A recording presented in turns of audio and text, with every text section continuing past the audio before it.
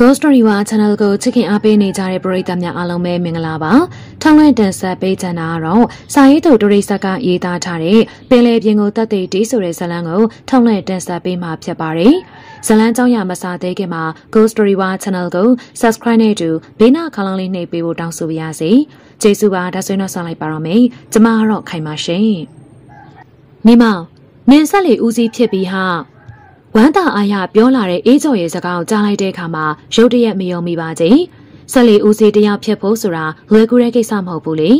ဒါကိုပင်လေတက်ရင်းလာပြီဖြစ်တဲ့နေမောင်သိတာပေါ့အနည်းဆုံး10နှစ်17နှစ်နောက်ပိုင်း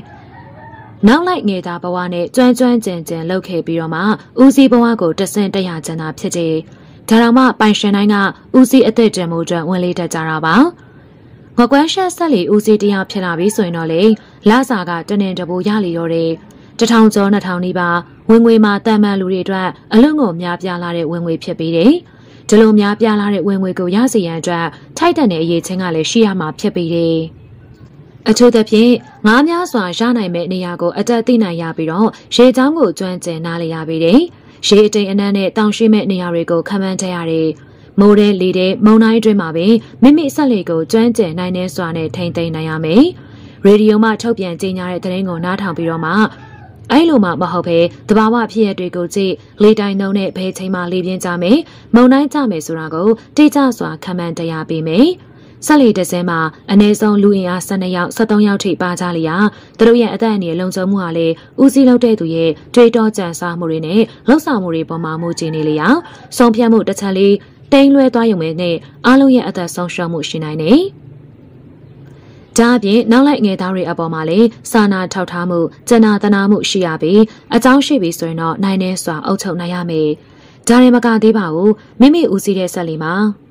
ဆက်ဆရာတယောက်ပါတော့လေအရေးအကြောင်းထဲမှာအခက်အခဲဖြစ်လာမယ်ဆိုပါကဆက်ချွေရမှုကိုအကြံအသင့်ကူညီပေးနိုင်ရမယ်။စတာတွေနဲ့များပြားလာတဲ့အရေးချင်းတွေနဲ့ပြည့်စုံပါမှဆက်လီဦးစီးတယောက်ဖြစ်လာနိုင်ပြီတဲ့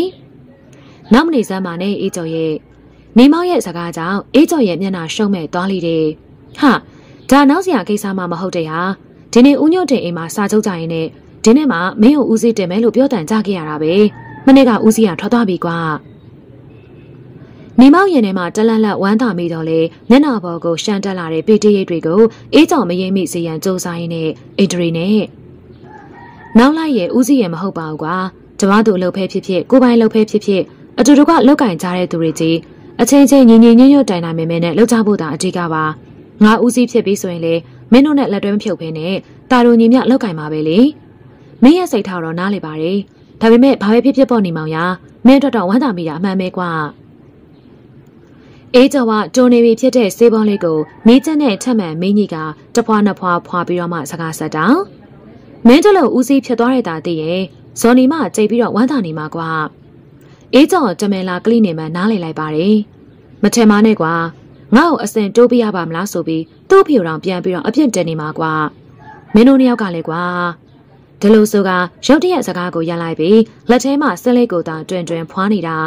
အစမပြေနိုင်သူနှစ်ဦးအတွက်ဂျားထဲမှာစိတ်မကောင်းဖြစ်မိတာတော့အမှန်ပါသို့တော့မိမိကလည်းတအားသမျှကိုညီတမှုမပြုတ်နိုင်တဲ့အတွက်ကြောင့်စိတ်ညစ်ရုံကလွယ်ပြီးတခြားမတတ်နိုင်တော့ပါကြဘလို့ဘဝလာကြလို့များဒီလောက်မတည့်နေကြလည်းမသိပါဘူးဒီလိုခတ်တိုးတိုးရေရွံ့လိုက်တယ် အော်အေးကြုံရဲ့ဂျလောက်ရှက်နေတဲ့ကိစ္စအောင်များမရှုပ်ရှော့အောင်စဉ်းစားနေရလို့သူတို့ဘဝနဲ့ဒိုးဘဝနဲ့ကမိုးနဲ့မြေလိုကွာချနေတဲ့ဥစ္စာဘယ်လိုလုပ်ပြီးတော့အဆင်ပြေနိုင်မှာလဲလေ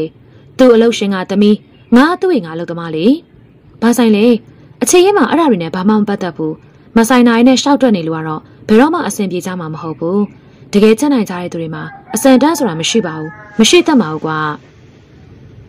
အေးကြောင့်ကခက်အေးအေးပင်စကားဆိုလိုက်တယ် ချစ်ချင်းမြတ်တာနဲ့ပတ်သက်ပြီးတော့ရိုးရိုးပင်စကားလို့ဆိုလာချင်တာဖြစ်ပြီးတယ်။သူ့ရဲ့အတွေ့အကြုံဘလောက်တောင်ရင့်ကျက်တယ်မရင့်ကျက်တယ်ကိုမသိပေ။သို့တော့မိမိထက်နားလည်မှုပိုရှိတာတော့လက်ခံမိပါတယ်။မင်းတလောက်နားလည်နေလျက်နဲ့ခင်လေးရဲ့ချက်ကိုအခုထိမရသေးရတော့စိုးတာပေါ့ကွာ။ရဲကျဲကျဲဖြစ်နေတဲ့မျက်နှာမှာရုပ်ချေးတည်သွားလိတော့တယ်။အစီကံအထိမီးဆွဲနေတဲ့ဆက်လိုက်တို့ကိုအဝေးကိုလှွန့်ပြလိုက်လေတယ်။တနေ့ကျရင်တော့သူငါမျက်တောင်နားလည်လာမှာပါ။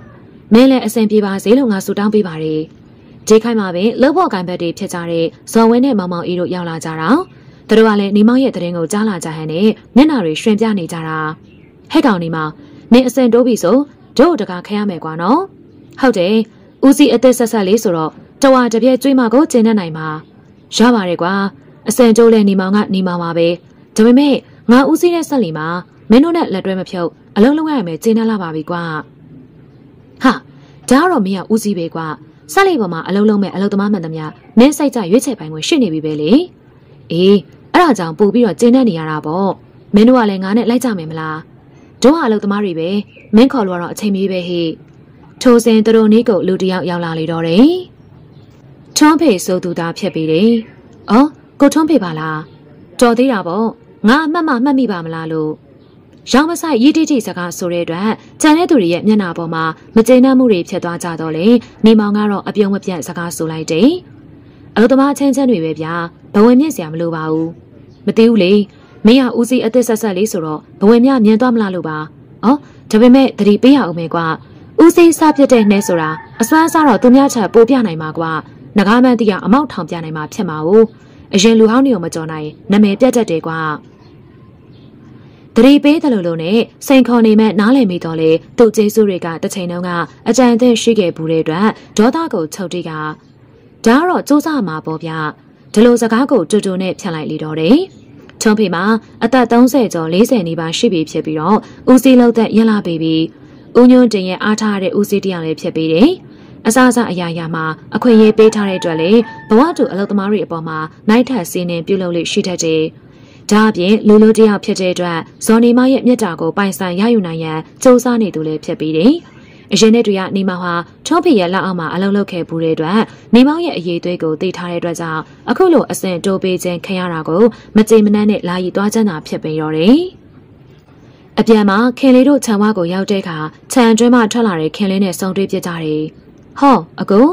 ခင်လေးဘယ်သွားမလို့လဲ။မြောက်ပိုင်း90ရာမှားထားလို့အဲ့ဒါတွေကိုတွားတွန်းလို့ထွက်လာတာ။ အိမ်နဲ့ဝင်မအောင်လား။အမေကလည်းအကူကိုမေးနေသေးတာ။အေးကြောပါပါလာရင်ကောင်းမှာပဲလို့စိတ်ထဲမှာတွေးရင်းနဲ့မငင်းတာတော်တွေအိမ်ထဲကိုဝင်ရပြန်နေခင်လေးတို့မှသားမင်းနှစ်ယောက်ထဲသားရှိတော့လေအချိန်နေနေပါသူတော့မဟုတ်ကြပါစေအုံးပင်တွေနဲ့ပြည့်နေတဲ့ခြံကြီးတစ်ခြံနဲ့အတန်အသင့်ကောင်းမွန်တဲ့အင်တိန်နဲ့သားမင်းနှစ်ယောက်နေကြလေတယ်ခင်လေးရဲ့ဖေဦးလာပုံမသေးခင်ကပြုတ်စုပြိုးထောင်ပေးခဲ့တဲ့လက်ရတွေသားဖြစ်ပြီးတယ် မိခင်ဖြစ်သူဒေါ်ပန်းယုံမှာအသက်50ကျော်ဝန်းကျင်များရှိတော့လေတန်တန်မာမာနဲ့အိမ်မှုကိစ္စခြံကိစ္စတွေကိုဝေယဝစ်စတွေပြုလုပ်ရင်းနဲ့အချိန်ကုန်နေတာခြံကထွက်တဲ့အုံသီးကိုရောင်းရတဲ့ငွေနဲ့သားမိနှစ်ယောက်ထဲစားဝတ်နေရေးပြည်လဲနေတိုင်းတော့လေတစ်ဖက်တစ်လမ်းမှဝင်ငွေရစီရန်အခါစားနဲ့ငချောက်ခွဲခြင်းငါးရွေးချက်နေပြုလုပ်ပြီးခင်လေးကအပေါ်ဝင်ငွေရှာပေးတယ်အိမ်ထဲကိုရောက်တဲ့အခါမှာတော့ဒေါ်ပန်းယုံကဝမ်းသာအားရစီးပြီးတော့မေးလိတယ်။ဒါ မင်းတင်နဲ့ဦးစီးဖြစ်ပြီဆိုဟဲ့အမေကဘာလို့ပြောလို့လဲရဲကျဲကျဲနဲ့ပြန်မေးရင်းနဲ့ကိုပြက်ပေါ်ကိုဝင်ထားလိုက်တယ်အိမ်ပေါ်မှာခုဆွတ်ထားတဲ့အုံသီးများစွာကိုမြင်တွေ့ရတယ်အမလေးကွယ်တရားလုံးကျုံးနေတဲ့တဲ့င်းကိုများမင်းမရောတီးပြီးပြီလားဦးညံဖြူနဲ့ဒေါ်စင်းတို့ကတော့ဝမ်းသာလိုက်မဲ့ဖြစ်ချင်းဒေါ်ပန်းယုံကစပွဲပေါ်မှာရင်နွေးချောင်းအုပ်ကိုယူလာရင်းနဲ့ပြောလီတော့တယ်ခင်လေးကဆေးပြီးတော့အစီရင်မောက်ထားတဲ့အကျန်းပကံလောင်နှလုံးကိုယူလာပေးလိတယ် ရင်နွေးချမ်းတောက်ရင်နဲ့စကားပြောနေကြရာအချိန်တော်ကြာသွားလေတော့တယ်။ဒေါ်ပန်းယုံနဲ့ခင်လေးတို့သားမိမှာနေမောင်တို့နဲ့သွေးမတော်သားမဆက်တော့လေနှစ်ပေါင်းများစွာတရားရဲနေတရေတဲ့တောက်လာသူချင်းဖြစ်တဲ့အတွက်သွေးရင်းနေပမာနေလာကြသူတွေဖြစ်ကြတယ်။ဘဝတွေလည်းဖြစ်ကြတဲ့အတွက်ခင်မင်မှုကခိုင်မြဲကြတယ်။ခင်လေးမှာအသက်19နှစ်ဝန်းကျင်ခန့်များရှိပြီးတော့နေမောင်ထက်၄နှစ်ခန့်ငယ်သူဖြစ်တဲ့အတွက်ညီမတခင်တပွဲတင်တွဲမှတွေ့တာမိလေတော့တယ်။ သို့တော်တခါတရံသူမရဲ့ပြုစုဆက်ဆံမှုတွေကနေမောက်ရင်ကိုလှောက်ခါစေတယ်အတွေးစားတွေကိုရှေ့လျားစေတယ်သို့တော်မကြည့်ကြိုးကြုံပြုတ်နေရတာနေမောင်ပြန်တဲ့အခါမှာတော့ခင်လေးရပါလိုက်လာနေတယ်ရှေ့သွားနောက်လိုက်ညီလာတဲ့သူတို့နှစ်ယောက်ကိုကြည့်ပြီးဒေါ်ပန်းယုံခမကျင်းနဲ့စွာပြုံးရင်းနဲ့ကြံခဲ့တာနနာပြန်ပေါ်မှာကျင်းနှမှုတွေရှက်တန်းနေတယ်နှစ်ယောက်သားစကားတပြောပြောနဲ့ရှောက်လာကြရာလက်ကုလက်ကိုရောက်တဲ့အခါမှာတော့မမျော်လင့်မဲ့ဇော်နီမနဲ့ဆောင်ကြလေတော့တယ် သူတို့နှစ်ယောက်ကိုမြင်တော့လေမမြင်ဟန်ပြုတ်ပြီးတော့မှကြော်လျှောက်သွားလိတယ်။အကြံငယ်ဝေးသွားတော့မှခင်လေးရမှတ်ချက်ချတာ။ဇော်နီမကတိတ်ပြီးတော့မာနာကြီးတာပဲနော်။သူတို့ကပစ္စည်းချမ်းသာတော့တို့အဖက်လုပ်ပြီးတော့ဘယ်စကားပြောကြမှာမလဲခင်လေးရဲ့။သူနဲ့ကျမတို့နှစ်ယောက်ငယ်တငယ်ချင်းကြောင်းနေဘက်တွေပဲလေ။ဒီလိုစိမ့်စိမ့်ကားကားဆက်ဆံဖို့တော့မကောင်းပါဘူး။လူတိုင်းခင်လေးလိုစိတ်ထားမျိုးရှိကြတာမှမဟုတ်တာ။ခင်လေးကဘလို့မှထပ်မပြောတော့ဘဲနဲ့အတန်ငယ်ဝေးသွားပြီဖြစ်တဲ့ဇော်နီမကိုတစ်ချက်လှမ်းကြည့်လိုက်တယ်။ နှစ်ယောက်သားစကားတပြောပြောနဲ့ရှောက်လာကြရာမကြခင်နေမောင်တို့အင်ရှိကိုရောက်လာတဲ့အတွက်ခင်လေးကနှုတ်ဆက်ပြီးတော့ဆက်လျှောက်သွားလေတယ်။နေမောင်ဟာခြံဝမှာပင်အတန်ကြာသည်ထိရက်နေပြီးခင်လေးကိုကြည့်နေတာ။လမ်းကြိုတစ်ခုကိုဝင်သွားတော့မှအိမ်ထဲကိုဝင်ခဲ့လေတော့တယ်။ခရီးထွက်ရန်ပြင်ဆင်ကြတဲ့နေ့ကနေမောင်ဖို့အပင်ပန်းဆုံးဖြစ်ပြီးတယ်။ခါတိုင်းနဲ့မတူဦးစီးဘဝပေမှုအစအစရာရာမိမိတာဝန်ကြီးဖြစ်လာရာလက်လက်မှုမရှိရလျောက်လို့စီစဉ်ရလေတယ်။ ဦးစွာကလေးကကြိုတင်ပြင်ဆင်မှုတွေပြုရတယ်။တနက်တာအသုံးပြုမဲ့ဆက်လေးကိုလွန်းတင်ရပြီးတယ်။ပိုးစာဆွေးမြင့်နေတဲ့တက်သားတွေကိုလည်းထုတ်ပြအပေါက်တွေကိုလုံခြုံမှုရှိအောင်ဖာတရတယ်။မိမိနဲ့အတူတနက်ပတ်လုံးလက်တွဲအလုံးလုံးကြမဲ့သူတွေကိုမိမိစိတ်ကြိုက်ရွေးချယ်ရတာ။ဒီလိုရွေးချယ်တဲ့နေရာမှာမိမိနဲ့စိတ်တော်ထားတူတဲ့သူတွေကိုဦးစားပေးပြီးတော့ရွေးရတယ်။စိတ်ဘောရချက်မတိုက်ဆိုင်မှုဆိုရင်တော့အလုံးလုံးတဲ့နေရာမှာစိတ်နှောက်ယှက်ဖြစ်တတ်ပြီးလုပ်ငန်းတွင်ကျမှုနှောင့်နှေးတတ်တာ။ အဲဒီကနေတဆင်အသုံးပြုမဲ့ပိုက်တွေကိုစစ်ဆေးရတယ်။အပေါက်ပြဲတွေရှိရဲဆိုရင်အခါစားနဲ့နေစားနဲ့ဖာခံရတာ။ကျွမ်းကျန်လျင်မြန်မှုအလိုက်တချို့ကိုထမင်းကျွေးဈေးခံ၍တော်၎င်းအဲ့ရတယ်။ပိုက်တဖောင်ရဲ့ကာလတန်ကြီးမှာတထောင်ကျော်ပတ်ဝန်းကျင်ရှိပြီးတော့နေမောင်ဆက်လီမှာပိုက်ဖောင်30ကျော်ပါရှိမှဖြစ်ပြီးတယ်။ကာလတန်ကြီးကမနေလာပါကြီး။ မော်တော်ဆက်ပိုက်နဲ့တခြားပစ္စည်းစားစရိတ်တွေအတွက်ဆိုရင်တော့တသိန်းခွဲခန့်မြတန်ဖိုးရှိလျာပိုင်ရှင်ခမကြော်ယုံယုံကြည်ရတဲ့သူတွေကိုဦးစီးမခန့်ဝယ်မှကြီးဘာလို့လဲဆိုရင်တော့ပင်လယ်ပြင်ကိုစထွက်သွားကြတဲ့ကလက်လော့စပယ်ဖြစ်နေတဲ့အတွက်ကြောင့်ဦးစီးရဲ့မယိုးသားမှုအတွက်ကြောင့်တော့၎င်းပင်လယ်မကျွမ်းကျင်မှုကြောင့်တော့၎င်းပစ္စည်းတွေဆုံးပါမှုရှိတတ်တယ်ဒီလိုမဟုတ်ဘူးဆိုရင်တော့မှ900အောင်မစွမ်းဆောင်နိုင်မှုဆိုရင်ဇရိတ်ရှုံးပြီးတော့ကြာရင်အရင်မှပြုံနိုင်တာ ဂျလုံးအစားစားရာပြင်ဆင်ပြီးတော့ပိုင်ရှင်ကဦးစီးလက်ကိုပိုက်ကိုအပ်လေတယ်။ဒါအပြင်လိုအပ်တဲ့ပစ္စည်းတွေပါစုဆောင်ရတာ။ပင်လယ်အတွင်းမှာ15ရက်ခန့်နေကြမှာဖြစ်တော့လေရိတ်ခါကိုပုံမယူဆောင်ကြရလေတယ်။ဒါအပြင်ပင်လယ်ကိုထွက်တဲ့နေရာမှာအရေးကြီးတဲ့ပစ္စည်းတွေဖြစ်တဲ့ဒီဇယ်အင်ဂျင်ဝိုင်းရေဒီယိုဘက်ထရီဒိုင်နမိုက်တန်လိုက်အိမ်မြောင်နဲ့ရေစီစားရည်တွေကိုအလုံးလောက်တင်ရလေတော့တယ်။ အဲလိုအစုံလင်ဖြစ်မှအလုသမားအားလုံးကိုစုပြီးဘယ်ချိန်မှခီးစထွက်မလဲဆိုတာကိုအကြောင်းကြားလိုက်တာမနက်စောစောမှပင်ထွက်ကြမှာဖြစ်တဲ့အတွက်အလုသမားတွေမှလွတ်လွတ်လပ်လပ်အနားယူကြလေတယ်။ဇနီးသားသမီးရှိတဲ့သူတွေကလည်းမိမိတို့မိသားစုနဲ့ပျော်ပျော်ပါပါနေကြရတယ်။ညောင်ပိုင်းလာရောင်ကအေးရရွာပေါ်ကိုအားနေစွာနဲ့ဖြာဆန်းနေတာ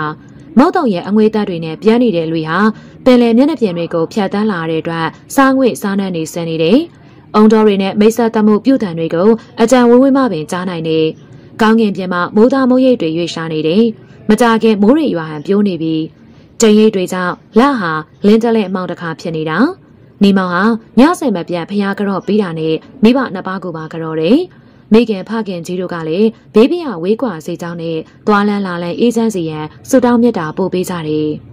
။လူလေးမင်းတို့မနက်စောစောထွက်ကြမှာလား။ဟုတ်တယ်ဖေ။ ဆက်လေဘေးမှာစွန်းနေပါတယ်တုံးပြီးပြီလားညောင်ပိုင်းကလေးကတုံးပြီးပါပြီဖေပင်လေတွင်းရောက်ရင်အစအစရာတရေထားကွယ်နော်လူလေးသူများတက်ကိုလိုချင်ရင်ကိုယ့်အသက်တဝက်ပေးရတယ်လို့သဘောထားပြီးအစအစအရာရာတရေရှိနိုင်မှာတော်ကကြမယ်ကွယ်ကိုယ့်ရဲ့ဝင်းကျင်မှာရှိသမျှကရန်သူတွေကြီးပဲကွာပိုက်တခိုးတွေနဲ့ရန်မောင်ခိုဆက်လီတွေနဲ့ရန်ငမန်း90မိချောင်းအစရှိရဲ့ကြောက်စရာကောင်းလာတဲ့ရေတတဝတွေရဲ့ရန်အနည်းဆုံးပြေချေးခွေးရှာတို့ ရေကြောထိတ်မာတို့တောင်မှဂယုဆိုင်ရတယ်ကွယ်။ဦးညံ့ဖြူကအတွေ့အကြုံရင်းလာပြီဖြစ်တဲ့ဝါရင်ရေလုံသားကြီးတဦးတမပေးပြီးပင်လေအတွေ့အကြုံနုနယ်သေးလာတဲ့သားဖြစ်တဲ့သူကိုဂယုတဆိုင်နဲ့မှာကြားလေတော့တယ်။ထိုစဉ်အိမ်ဝကိုလူတယောက်တက်လာတဲ့အတွက်လှည့်ကြည့်လိုက်ကြတယ်။ဟောခင်လေးလာသမီးဒီမထိုင်ဒေါ်ဆေးရသူလေးကိုပြူငါစွာနဲ့လှမ်းခေါ်လိုက်တာ။ဘာထုံလဲခင်လေးပင်လယ်ထဲရောက်ရင်အကူစားဖို့အတွက်မုံကြောက်တွေပါအမေကပေးခိုင်းလိုက်လို့။အော် ဒုက္ခရှာလို့ခင်လေးရဲ့တယောက်ထက်လာသလားပြုံးပြီးတော့ခေါင်းကြီးပြလေးတယ်ခင်လေးမှာနေမောင်တို့မိသားစုနဲ့အလုံးမဲ့ကျွမ်းဝင်ရင်းနှီးနေတဲ့အတွက်ဒေါ်ပန်းယုံကလည်းစိတ်ချလက်ချလှုပ်ပေးခြင်းဖြစ်ပြီးတယ်အတန်ကြာစကားပြောပြီးတော့မှအပြန်မှာနေမောင်ကလိုက်ပို့ပြီးတာလာရောင်ကြံရောင်တွေကင်းနေတဲ့အတွက်ရွာအတွင်းမှာရှောက်စဉ်လမ်းမီးအောင်မှုံဝါးဝါးတွေကြောင့်အခက်မတွေ့တော့လေရွာမလွန်ခြံကျဲကြီးတွေကိုရောက်တဲ့အခါမှာအလင်းရောင်အားနေလွန်လာတဲ့အတွက်မှန်းပြီးတော့ရှောင်လာတာ အကုန်းလို့တိုးတိုးပင်ခေါ်လိုက်တော့လေတိတ်ဆိတ်နေတဲ့အချိန်ဖြစ်တဲ့အတွက်ပြက်ပြက်သားသားထန်ထန်ကြာကြာကြာလီတော့တယ်။ဘာလဲခင်လေးပင်လယ်ထဲရောက်သတိဝရိယထားပါနော်။စိတ်ချပါခင်လေးရဲ့အကူကပင်လယ်ရေပြင်မှာမွေးပြီးပင်လယ်တွင်းမှာလှုပ်ရှားရင်းနဲ့ကြီးပြင်းလာတဲ့သူပါ။ပင်လယ်ကအကူတက်ထာဝရမိတ်ဆွေပဲလေ။ဒါပေမဲ့ပညာရှိသတိဖြစ်ခဲဆိုတာကိုကြမ်းကြံတဲ့အလုပ်ဆိုပြီးတော့ပေါ်ပေါ်ရော့ဖြစ်နေမှာစိုးလို့ပါကိုရဲ့။ရင်အတွင်းမှာတယောဆင်ပမာဏကိုမှန်းဆကြည့်ုံနဲ့သိနိုင်တယ်။ ဒါကြောင့်လေရင်အတွင်းမှာချမ်းမြေ့မှုတွေနဲ့အတူတောကရဲ့အရေးငွေတွေကိုတပြိုင်နက်တည်းခံစားရတာ။အဲ့ဒီလှုပ်ရှားမှုတွေနဲ့အတူအေးကြော်ရဲ့မျက်နှာကိုပါတရေးရေးနဲ့မြင်နေမိတယ်။ခင်လေးနဲ့အလုံးငုံနေကန်းစွာရှောင်းနေတဲ့အတွက်သူမထံကနေတက်ပြင်းချတန်တချို့ကြားရတာ။နေ့လယ်တုန်းကကိုကြီးကျော်ကြီးအိမ်လာသေးလား။ဟုတ်လား။အဲ့ဒီစကားကြောင့်ရင်အတွင်းမှာတမဟုတ်ချင်းတွေထွေးမှုဖြစ်လာတယ်။ခင်လေးထာမဆက်ပြောလာမယ့်စကားသံတွေကိုလည်းကြားကြနေတာ သူလိုက်ကျမအိုင်းစိတ်ညစ်တာပဲသူနဲ့ကျမမတွေ့ကြဘူးဟမ်ဘာဖြစ်လို့လဲကိုရေးကျော်ဟာစိတ်ကူးရင်သမားတယောက်ပဲမဖြစ်နိုင်တာတွေပဲလှုပ်ချင်နေရလေအဲ့ဒီစကားကိုပြောနေချိန်မှာခင်လေးရဲ့တန်မှာတမန်ထပ်ပိုးပြီးတော့တိုးနေတာအေးကျော်ဟာလူတော်တယောက်ပါကွယ်ခင်လေးထံကနေအတန်ကြာသေးထိစကားပြန်ပြောတာမကြားဘဲနဲ့ညင်နေတာလမ်းကျန်းတွေကိုရောက်တဲ့အခါမလွတ်မလပ်ရှောင်ရတဲ့အတွက်အာနာမှုဖြစ်ရတယ်။ နှွေးထွေးလာတဲ့ပခုံးသားလေးတွေရဲ့အတွေ့အထိဟာရင်ကိုအခုံမြန်စေတယ်။တခါတရံစိတ်ရိုင်းစိတ်လွတ်ဝင်လာတဲ့ခါမှာတော့ခင်လေးဟာအခုချိန်ဒီမှာမိမိလက်တွဲမှာပန်းတပွင့်တပွဲချွေချင်းချွေနန်းချန်နန်းနိုင်နေဖြစ်စိတ်ကိုထရတာမှပင်ပန်းလာပါပြီ။ချုံအောင်မရတဲ့စင်စိုးတကောင်ထက်တောင်မှစိုးလွန်လာပါတယ်။တက်ပြင်းချိန်ချိန်ချနေတဲ့ခိုင်မှာပဲခင်လေးထံမှပြက်ပြက်သားသားစကားကိုကြားရတယ်။ကျမလွတ်လပ်သူတယောက်လွတ်လွတ်လပ်လပ်တွေးတော်ဆုံးဖြတ်နိုင်ခွင့်ရှိတယ်။ ကျမတသက်လောင်လက်တွဲသွားမယ်အိမ်အောင်ရခီးကိုစိတ်ကြိုက်ဖန်တီးနိုင်ရမယ်ဒီမှာကိုအခြေရဲနဲ့ပတ်သက်လာပြီဆိုရင်လူတော်လူကောင်းလူချမ်းသာဆိုတဲ့အစံတန်မရှိနိုင်ဘူးလေနေမောင်ဖို့စကားပြန်ပြောနိုင်မှုအခွင့်အလမ်းနှဲပါနေပြီဒီမှာကိုကျမတခုပြောမယ်မိန်းကလေးတယောက်ရဲ့ရင်ထဲကမျက်ကြဟာပန်းတပွင့်နဲ့တူပါတယ်စက်သက်မှာတခါတခါမှတပွင့်သာပွင့်တတ်ကြတယ်အဲ့လိုမျိုးပွင့်လာတဲ့ပန်းလေးကိုကျမတို့ကတန်ဖိုးထားတတ်ပါတယ်မပြတ်စေးရအောင်လဲထိမ့်သိမ့်ကြရတယ်လေ ရေမှန်းထားတဲ့သူလက်ထဲကိုမရောက်မချင်းအသက်နဲ့လဲပြီးတော့စောက်ရှောက်မှာကျမတို့ရဲ့တာဝန်ပဲအင်ဒရီတိတ်ခါဆိုတဲ့အတားဆီးတွေကြောင့်ကိုကစပြီးတော့ရော့ပါအင်မဆိုပြီးတွန်းထိုးပေးဖို့အတွက်ကအခွင့်အရေးနှဲပါနေတာလွဲပြီးတော့အချက်နဲ့ပတ်သက်လာရင်တတိရှိတတ်ကြပါတယ်မိမိရေမှန်းထားတဲ့သူနဲ့ကံမကြုံလို့မစုံဖြစ်ရင်တော့မှအလားတတော့ဖြစ်မခံပါဘူးရင်ထဲမှာတတလုံးတိမ့်ထားမှာပါဒီလိုပြောလိုက်လို့ကျမကိုစကကြီးစကကြီးပြောတယ်လို့မထင်လိုက်ပါနဲ့ခင်လေးရဲ့တန်တွေတုံရင်နေတယ်လို့ထင်ရတယ် သူမဟာဘလောက်တောင်စိတ်လှုပ်ရှားနေတယ်လဲဆိုတာကိုစကားတန်တွေနားထောင်ကြည့်ုံနဲ့သိနိုင်တယ်။တဖြည်းဖြည်းနဲ့ရှောက်လာကြရာမကြခင်ခင်လေးတို့ခြံဝါကိုရောက်လာပြီ။အကူတော့မဲခင်လေးမနက်စောစောခီးထွက်ကြမယ်။ဟုတ်ကဲ့ဒီလိုဆိုပြီးတော့မှပြန်လာမယ့်ရက်ကိုမျောနေပါမယ်။ဒီလိုခတ်တွတ်တွတ်ပြောခြံတွင်းကိုဝင်သွားလီတော့တယ်။ဖွင့်မပြောတော့လေရင်ထဲမှာတန်ရောစင်ကိုနားလည်မိပါတယ်။ခင်လွေးအိမ်မော်တက်သွားတဲ့အထိစောင့်ကြည့်နေပြီးတော့မှပြန်လဲထွက်ခဲ့လီတော့တယ်။ မနက်စောစောမှပဲဆက်လီစပြီးတော့ထွက်ကြတယ်။ချောင်းတွဲမှမောင်းထွက်လာကြတဲ့ကတချို့90ပေါ်မှာအော်ဟစ်နှုတ်ဆက်ကြတယ်။ချောင်းဝမှာရှိတဲ့စိတ်ကန်းဂိတ်ကိုရောက်တဲ့ကခက်တရက်ပြီးတော့အစစ်ဆေးခံကြရတာ။ဆက်လီပေါ်မှာလိုက်ပါမဲ့လူဦးရေပိုက်ဖောက်အရေးအတွက်နဲ့တခြားပစ္စည်းတွေကိုပါစည်ရင်နဲ့ကြွားပြသပြီးတော့လက်မှတ်ထိုးရတယ်။ဂိတ်ကနေပြီးတော့ကျင်းနဲ့လောက်အောင်စစ်ဆေးပြီးတော့လက်မှတ်ထိုးပြီးတဲ့ခါကျမှဆက်ပြီးတော့ထက်ခွာခွင့်ရကြတာ။ ဒီလိုပြုလုပ်ရခြင်းမှာအပြန်မှာဂိတ်မှာရက်ပြီးတော့အစစ်ဆေးခံရတဲ့အခါလူကိုလူရှန်ပါမပါပိုက်အပေါ်ပါမပါစတာတွေကိုစစ်ဆေးတွေ့ရှိနိုင်မှာဖြစ်ပြီးတယ်။အဲ့ဒီနီးနဲ့မတမာတဲ့နီးနဲ့ဝင်လာမယ့်အမောက်ခိုပစ္စည်းတွေကိုတားဆီးရင်းနဲ့ပိုက်ခိုးမှုလူခိုးဝင်လာတဲ့သူတွေကိုသိရှိနိုင်မှာဖြစ်ပြီးတယ်။ချောင်းတွင်းကနေလွန်ပြီးတော့ပင်လယ်ပြင်ကိုရောက်တဲ့အခါနေမောင်ကဆက်လီဥပိုင်းကိုသွားကရေတဘုံကိုခတ်ဦးတုံးကိုလောင်ချရင်းနဲ့ဘေးအပရာကင်းပါစေကြောင်းတောင်းဆိုတမှုပြုလေတော့တယ်။ အဲ့ဒီချိန်တခြားလုံးနေမောင်ရှင်ခုန်နေတာပင်လယ်ပြင်ကိုအခောက်ပေါင်းများစွာထွက်ခဲ့ပူပြီးဒီလောက်တောင်မှရင်မခုန်စဘူးအခုခောက်တွေကမိမိဟာဆက်လီဦးစီးဘဝနဲ့မဟုတ်ပါပဲနောက်လိုက်ငယ်သားဘဝနဲ့ဦးစီးခိုင်းစေသမျှတာဝန်ကျေပူအောင်လုပ်နိုင်ရုံများနဲ့ပြီးတော့လေအခုတစ်ခေါက်ကတော့ဆက်လီတစည်းလုံးရဲ့တာဝန်ဟာမိမိတာဝန်ဖြစ်လာပြီငားရနိုင်ရေးမရနိုင်ရေး ခရီးလန်းချောမောအဆင်ပြေရေးမပြေရေးမတမာသူတွေနဲ့တော်လကောင်တဘာဝအန်ဒီတွေနဲ့တော်လကောင်ရင်ဆိုင်ကြုံတွေ့နိုင်ရေးတွေဟာမိမိရဲ့အတွေ့အကြုံနဲ့စူးစမ်းမှုပေါ်မှာမူတည်နေတဲ့အတွက်အဲ့လောက်ရင်ခုန်နေရခြင်းဖြစ်ပြီးတယ်။နေမောင်ဟာဆက်လီနောက်ဖက်ပိုင်းကိုလှမ်းကြည့်တယ်။တခြားသူတွေလည်းတာဝန်သေးသေးနဲ့လှုပ်ရှားလျက်ရှင်နေကြတာ။မှန်မှန်ခုံပေါင်းလာတဲ့ဆက်လီမှာတစားတစားနဲ့ပဲပင်လယ်တွင်းကိုရောက်ခဲ့ကြပြီးနောက်ပိုင်းမှာကြံရခဲ့တဲ့တောရွာနယ်တောင်ကျေးတွေကိုပြပြမျှတာမြင်နိုင်တော့တာ။ ရေနက်ခုနှစ်လန်ရောက်ပြီဆိုတာနဲ့ရှုံးနဲ့ရောင်နောက်ကြီးကြီးကိုမြင်ရပြီးအဲ့ရီကနေကြော်လာတာနဲ့တစားတစားနဲ့အယောင်ပြောင်းလာပြန်နေဒီလိုပင်ရေရဲ့ရောင်ကိုကြည်ခြင်းအပြင်ရေတိန်နဲ့ကိုတည်နိုင်တယ်ခုနှစ်လန်မှ15လန်ရေအနက်အတွင်းမှာရှုံးနဲ့ရောင်ရှိတဲ့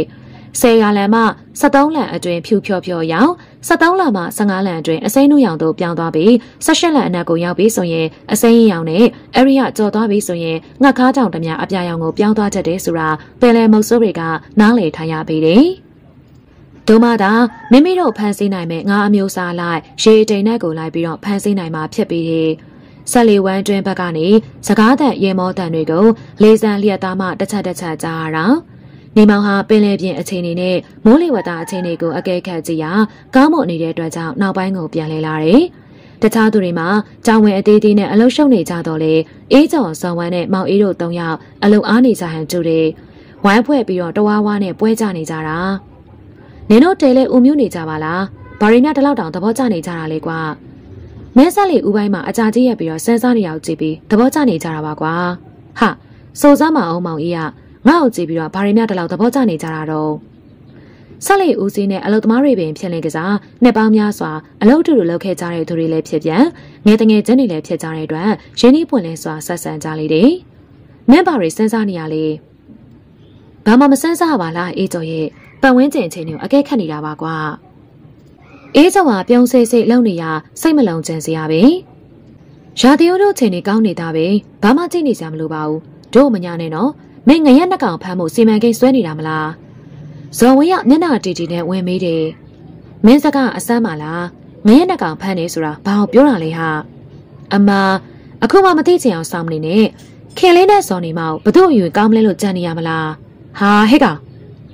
ဇော်ဝင်းရဲ့စကားကြောင့်အေးကြောက်ကိုအလို့ပင်အာနာမိသွားတယ်မျက်နှာဘလို့ဖြစ်သွားလဲဆိုတာကိုလေကြပြာကြရလှမ်းကြည့်လိုက်တာကြောပါသေးတယ် အေးကြုံကအဲ့ဒီစကားအတွက်ဘလို့မှဖြစ်သွားပုံမရဘဲနဲ့ရဲကျဲကျဲလုံနေလို့တပ်ပြင်းချလိုက်မိတော့တယ်။ပောက်ကရတွေရှောက်ပြောမနေစမ်းပါနဲ့ဇော်ဝင်းရဲ့ခင်လေးကညီမလေးတယောက်လိုပဲခင်တာပါကွာ။မင်းကဘသူကရက်ဆက်လို့လေ။ဒါဖြင့်ဇော်နီမကိုကြတော့ရောကွာ။ तू ကတော့ငါတွေ့ရင်စောင်းဖို့အများဘူးလောက်သဘောထားနေရပဲလေ။ဒါကတော့မင်းညံ့တာပဲ။မင်းကပင်လေပြင်မှာကျွမ်းကျင်တဲ့လောက်မင်းကလေးတွေကြောင်တော့ဘာမှမသိသေးတာအမှန်ပဲလေ။အမျိုးသမီးရဲ့စိတ်ထောင်အမှန်ပြောနိုင်မှုဆိုတာမလွယ်ဘူးကွာ။ အပြင်မှာဘလောက်ပဲမုန်းတရံပြနေပေမဲ့အတွင်းစိတ်ကချစ်ချင်ချက်နေတာအေးအဲ့လိုပဲအတွင်းကမုန်းနေပေမဲ့လေအပြင်ဘက်ကချစ်ဟန်ပြရင်ပြနေတာဒေါင်အမှန်ပြောလို့မရဘူးဇော်ဝင်းရဲ့စကားကြောင့်နေမောင်နဲ့အေးကျော်တို့နှစ်ယောက်စလုံးပြုံးလိုက်ကြတယ်အကျွေးမှာကျင်းနှံမှုကြုံကြီးသွားကြတယ်ဆိုတာတော့အသေးသေးသိလိုက်ကြပါတယ်ကဲအေးကျော်စိတ်မလျှော့နဲ့တငယ်ချင်းဇော်ဝင်းရဒုတ်အဖွဲ့ဝင်မှာတော့အချင်းရင်းနဲ့ပတ်သက်လာပြီဆိုရင်ပါရကူပဲလေသူစကားရဆိုရင်မဲကြွမျောလင်းချက်ရှိသေးတယ် ခင်လေးကမင်းကိုလက်မခံဘူးလို့အပြတ်ပြောလို့မရဘူးဆက်ပြီးတော့စူးစမ်းပေါ်ကွာဒါနဲ့အေးကျော်ကတောင်ဝင်းမကင်မဲမနေတဲ့ဖိုးဖိုးဒီလိုဆိုကရှဲလီတယ်မင်းလေဇော်နီမမြတ်တောင်ရအောင်စူးစမ်းပေါ့ဒါကတော့မဖြစ်နိုင်ဘူးဟေ့မင်းစကားကငါလက်ခံပါတယ်ဒါပေမဲ့ဇော်နီမမြတ်တောင်ရဖို့ဆိုတာတော့မလွယ်ဘူးကွာဘာလို့လဲဆိုတော့ဇော်နီမကငါ့အောင်မုန်းနေတယ်ဆိုတာအသေးချာသိနေလို့ပဲလေစိုးပါကွာဒီလိုဆိုကဝိုင်းပြီးတော့ရဲကြလိတော့တယ် မှန်မှန်မောင်းနေတဲ့စက်တန်နဲ့ကြဝီဝီတိုက်ခိုက်နေတဲ့လေတံတွေပင်သူတို့ရဲတန်းကဖုံးသွားလိတော့တယ်။ဆက်လျာတစားတစားနဲ့ပိုင်းချက်တွေရှိတဲ့ပင်လယ်တွင်းကိုရောက်ခဲ့ကြပြီ။ဒါကြောင့်စကားဝိုင်းကိုသိန်းကဥပိုင်းကိုထွက်လာကြတာ။သူတို့ဖွဲ့ရွာနေထွက်လာကြသည်မှာ9နာရီကြော်ကြော်များရှိပေပြီ။ပန်ဝင်းကျင်အချိန်ဒီမှာလွန်စွာမှအားရကျေးနှက်ဖွယ်ရာကောင်းနေတာ။လေတိုက်နှုံးမှလည်းတန်ပန်းမြတာရှိသေးတယ်။25မိုင်နှုံးမြတာရှိနေသေးလိမ့်မယ်လို့ခန့်မှန်းကြတယ်။ပ င်လယ်တွင်းမှာတော့တနအီကို25မိုင်ကနေ35မိုင်ထိတိုက်ခိုက်တဲ့လေမှာတမန်မြတာရှိပေတယ်။ပိုက်ချက်ကိုရွေးပြီးပိုက်ချရန်ဆုံးဖြတ်ပြီးတဲ့အခါထုံးစံတိုင်းရေတိုးပေးရသည်တင်မြောက်ကြလိတော့တယ်။အရက်ကြက်ကြော်လက်ဖက်စီကရက်နဲ့အမွှေးတိုင်စတာတွေနဲ့တင်မြောက်ရခြင်းဖြစ်ပြီးတယ်။အားလုံးပြီးစီးတဲ့အခါကျမှနေမောင်ကပိုက်ချမှာဖြစ်ကြောင်းကြေညာလိုက်တဲ့အခါအားလုံးကိုတာဝန်နဲ့ကိုအလုပ်ရှုပ်ကြတော့တယ်။ဥစွာပိုက်ဖုံးတွေကိုတစ်ခုနဲ့တစ်ခုစားရတယ်။ ပြီးတော့မှပိုက်ကောင်းကျိုးအပေါ်ကျိုးအောက်ကျိုးတွေကိုတက်ဆက်ရတာပိုက်အောက်ချိန်မှာအတန်ငယ်လေးနေစီရန်အတွက်ခဲသီးတွေကိုဆွဲရပြန်နေဒုမှသာပိုက်ဟာရှိအောက်ကိုကြမ်းကြမ်းမတ်မတ်ကျနေနိုင်မှာဖြစ်ပြီးတယ်ပိုက်တစ်ဖောင်လေးနှစ်ချက်ခွဲသားခန့်ခဲလေးတဲ့65မှ95အထိရေစည်းချိန်တွေကိုလိုက်ပြီးတော့တက်ကြရတယ်အားလုံးအစင်သင့်ပြီးတဲ့ခါကျမှဆက်လက်ကိုရေစည်းနဲ့ကန့်လန့်မျောစေပြီးတော့ပိုက်စားချတယ်။ဥစွာကာလီတန်ကိုအရင်ချတယ် ကာလီတန်ရဲ့အဖျားဘက်မှာကျေးရွာအမှတ်သားမြို့နယ်အမှတ်သားကြက်ရှာအလံကလေးတွေတက်ဆင်ထားတဲ့ဒုမသာအဝေးရကြည့်မဲဆိုရင်ခွဲခြားနိုင်မှာဖြစ်ပြီးတယ်။ပိုင်ချတဲ့အခါမှာနေမောင်ကိုယ်တိုင်ဝင်ပြီးတော့ပိုက်ကောင်းကျုပ်ကိုကိုင်းနေအေးဆောင်တဲ့ဇော်ဝင်းတို့ကခြေချောင်းနဲ့ဖော်ကျိုးနေရမှာအသေးသေးတာဝန်ယူပြီးတော့တခြားသူတွေကလည်းလိုအပ်ရင်လိုအပ်တယ်လို့ကိုညီလောက်ကင်ပေးကြတယ်။ ပိုက်ချတဲ့နေရာမှာအရေးကြီးတဲ့အတွက်ဦးစိရဲ့ကိုကဲမှုကိုလိုက်နာကြမှာဖြစ်တော့လေပင်လယ်အတွေ့အကြုံရင်းလာပြီဖြစ်တဲ့ပင်လယ်ဖြန်တစ်ပိုင်းဖြစ်နေတဲ့သူတို့ဖွဲ့ကိုတော့နေမောင်ကတခေါတပါသားတမ်းမြပြောစရာမလိုပဲနဲ့ကိုတာဝန်ယူကိုအသေးသေးဆောင်ရွက်ကြတော့တာပိုက်ဖောင်းတွေကိုရေကိုအားလုံးချပြီးတဲ့အခါညနေစောင်းနေပြီးရေအားကိုတိတိတတကြီးကြာဆင်းနေတဲ့နေလုံးကြီးနဲ့စီးစာရဲ့အလားပါတွေကိုပြည့်ပြည့်ဝဝကြီးခန်းစားကြရတာ ရေဒီယိုမှမိုးလေဝသသတင်းကြေညာချက်ကိုကြားလိုက်တဲ့အခါပင်လယ်ကမ်းခြေရွာလေးမှာလှုပ်လှုပ်ရွရွဖြစ်သွားတယ်။မုံတိုင်းကြမယ်ဆိုတဲ့သတင်းဟာလူရိုင်းနှုတ်ဖြာမှာရောက်နေတာ။ပင်လယ်ထွက်သွားတဲ့သူတွေအတွက်ပူပန်မှုဖြစ်ကြရတယ်။ကမ်းခြေနဲ့နေတဲ့ဆက်လီတချို့တော့ကမ်းခြေကိုအလင်းမြန်ပြန်ဝင်ကြရတာ။တမန်ချက်လေးတိုင်နှုံးနေမယ်ပင်လယ်ပြင်မှာလှိုင်းတဘုံထန်နေမယ်ဆိုရင်တော့မုံတိုင်းကြရင်ဖြင့်ပြောပွင့်မရှိတော့ပါစေ။မုံတိုင်းရဲ့ရှေ့ပြင်းနမိတ်ဝင်လာတဲ့လေအရှိန်နဲ့မယ် ခုနလန်ရေနိုင်ပင်လှိုင်းလုံးကြီးတွေထနေပြီးအလုရှင်တွေကချောင်းတွင်းကိုပြန်ဝင်လာတဲ့ဆက်လီတွေကိုကြည့်ပြီးတော့မိမိတို့ဆက်လီပါမပါဆိုတာရင်တမမနဲ့မျှော်ကြည့်နေကြတာအစုံလင်ပြောင်းတဲ့သူတွေဖို့ဟင်းချနိုင်တော့လေမရောက်ကြတဲ့သူတွေဖို့မှာတော့ရင်ပူနေရဆဲတာဖြစ်ပြီးတယ်။ဒီထဲမှာဦးညို့တန်တယောက်မှလေမိမိရဲ့ဆက်လီတွေပြန်ပြီးတော့မရောက်သေးတဲ့အတွက်စိတ်မိန်နိုင်အောင်ဖြစ်နေပြီးတော့တာ။ချောင်းဝမဝင်လာတဲ့ဆက်လီတိုင်းမိမိရဲ့ဆက်လီတွေဖြစ်လိမ့်မလားဆိုပြီးတော့ကြည့်ရတာလေအမောပါကြီး။ ထိုနေတူစွာဖခင်ပေးမှအရေးချိန်တွေကြိတ်ရှာနေတဲ့ဇော်နီမမှလည်းမျက်နှာမကောင်းလာပါကြီး။သူမလည်းပင်လေထွက်သွားတဲ့သူတွေအတွက်စိတ်မအေးနိုင်မှုဆိုပြီးတော့ရေပူရအဖြစ်ပြောရမယ်ဖြစ်နိုင်စုံဆိုလေစိတ်အတွင်းကတော့တစုံတရာအတွက်ပူပန်တော့ကရောက်နေတဲ့ဖြစ်ကိုကယံကရှင်ကသာတိတိပပသိနိုင်ပြီးတော့တယ်။ကန်းစီကိုရိုက်ခတ်လာတဲ့လိုင်းတန်ကြီးတွေကိုစိတ်မချမ်းမြေ့ပွေရကြားနေရတာ။သူမရဲ့စိတ်ထဲမှာအဲ့ဒီတန်တွေကငရဲပွက်တန်လာထက်မှတ်နေရတယ်။ထိုစဉ်ချောင်းတွင်းကိုဆက်လီ20မောင်းဝင်လာကြတာ။ 20စလုံးမှာဦးညို့တန်ပိုင်ဆက်လီရီကြီးဖြစ်တဲ့အတွက်ဦးညို့တန်ရဲ့မျက်နှာမှာငပုတ်ဖန်းကျဲမှလွတ်ကင်းလာတဲ့လပမှာကြည်လင်မှုတွေရှိလာပြီးတော့တယ်။ဆက်လီရီတရားစိတ်ကိုရောက်တဲ့အခါမှာတော့ကြပြကြရဆန်းသွားတာ။ဘယ်နဲ့လဲဟိလွတ်ယုံမဲလား။လွတ်ယုံမဲဦးလေးရေဒါတောင်အတွေ့အကြုံဟာစကားပြောသားလို့အချိန်မီတိတ်နိုင်ခဲ့တာဗျ။တချို့ဆက်လီတော့ပင်လယ်ထဲမှာပြောင်းဆန်းနေတာပဲ။ထုံးဖျားကိုရီကိုသွေးပြောရင်းနဲ့တရားဘောက်ကိုလှမ်းတက်ခဲ့တာ။ သူနောက်မှတခြားနောက်တစ်စင်းမှာဦးစီးဖြစ်သူစိန်တန်းကပါတက်လာပြီးအကျိုးကြောင့်ပြောပြတယ်။ဆက်လီအလုသမားတွေကတော့အကြိုင်ငယ်ရရှိလာတဲ့ငါးတွေကိုစင်မော်ကိုတင်းနေကြတာ။ထုံးဖျားတော့အနေငယ်ရရှိလာတဲ့ငါးတွေကိုနောက်လိုက်တွေကိုကျင်ခိုင်းပြီးကိုရိုင်းကတော့ဂုံယူဝင်ကြတဲ့မျက်နှာနဲ့ဦးညွန့်တင်ဘေးမှာရက်ဇော်နီမရှိရာစီကိုမကြာခဏလှမ်းကျင်နေတာ။နေမောင်တို့ဆက်လီပြန်မရောက်သေးဘူးလားဦးလေး။မဝင်သေးဘူးကွာငါလည်းအဲ့ဒါပဲမျောနေတာပဲလေ။ အဲ့ဒီစကားကြောင့်ထုံးဖေမှာအလုံးမေကျင်းနှံမှုရှိသွားလိတော့တယ်။อืมပင်လယ်ပြင်မှာတော့မအူမလဲနဲ့ဦးစေးတစ်ကလေးမချမှုဖြစ်နေပြီထမရဲ့နောက်ကပါသွားတဲ့သူတွေကတော့ဒုက္ခပါပဲဗျာ။ဇော်နီမမျက်နှာတင်းနေဖြစ်သွားတယ်။တပတ်သားနှိမ်ချပြီးအထင်သေးစွာစကားဆိုလာတဲ့အတွက်မကြေမနက်ဖြစ်မိတာ။အဲ့ဒီခိုင်မှာပဲလေရတိတိတတကြီးတိုးလာတာ။ကမ်းခြေမှာရှိတဲ့အုံးပင်တွေမှာလေဖိမှာဤကနေဤကနေရှိနေကြတယ်။လူရီယာတိတ်ခတ်ကြတယ်။ ကိုယ့်ရဲ့ချင်းဖြင့်ဘလောက်ရှိလို့ရှိမှနားမလဲပဲနဲ့အခွင့်အရေးရတယ်လို့တဲပြီးတော့ယူကျင်ကြတာ哦အခုလိုအရေးကြောင်းလဲဖြစ်ရောအတွေ့အကြုံကစကားပြောလာရမဟုတ်ဘူးလား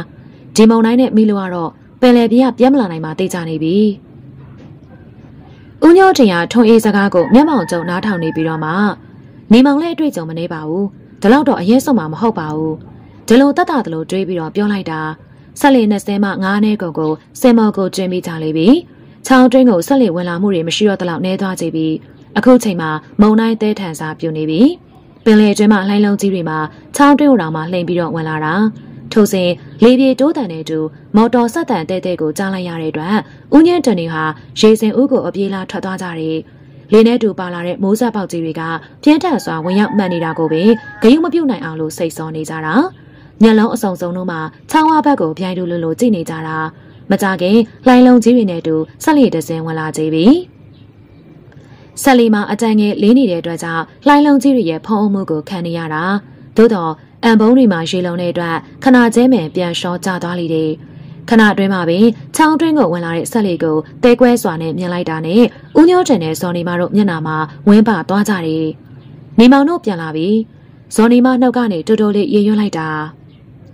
ဦးညိုတင်ကရေစင်ဦးကနေပြီးတော့ဝမ်းတာအားရလက်ပြပြီးတော့နှုတ်ဆက်တယ်။မော်တော်ဦးမလိုက်လာကြတဲ့နေမောင်တို့ဖွေရလေပြန်လည်နှုတ်ဆက်ကြတာဒီခါတခြားနီးစက်ရဆန်တွေမှာလည်းဝမ်းသာအားရနှုတ်ဆက်ကြရာခြောက်ရုပ်တခြားလှိုင်းတန်လေးတန်တွေနဲ့အတူစူညံနေလေတော့တယ်။သူတို့ဖွဲ့ကမုံတိုင်းတွဲမှသူရဲကောင်းတွေတဖွဲဝမ်းသာခေါ်ယူနေကြတာဆက်လေကိုရေစံဘေးမှာဝင်ကပ်ပြီးတဲ့အခါမေုံကြည်နိုင်လောက်အောင်အံ့ဩမှုတွေဖြစ်ကြရတယ်။ ဘာလို့လဲဆိုရင်တော့ဆက်လီဝမ်းအတွင်းမှာငားရီအပြေးမှပါလာတဲ့အတွက်ကြောင့်သာဖြစ်ပြီးတယ်။တို့ဖြစ်ရာတခြားနီးရဆန်တွေကပဲလာရောက်ပြီးတော့ကြည့်ရှုကြတာနေမောင်တို့ရဲ့စွန့်ဝဲမှုကိုလည်းခြေကျူကြနေတယ်။အဲဒီချိန်ရင်ကုန်နှုတ်ပိတ်ဖြစ်နေတဲ့ထွန်းဖေမှာမျက်စိမျက်နှာပြက်လျက်ရှိနေပြီ။ကျွန်တော်တို့ရေလံ40နဲ့မှမုံနိုင်စမိတာပဲလေ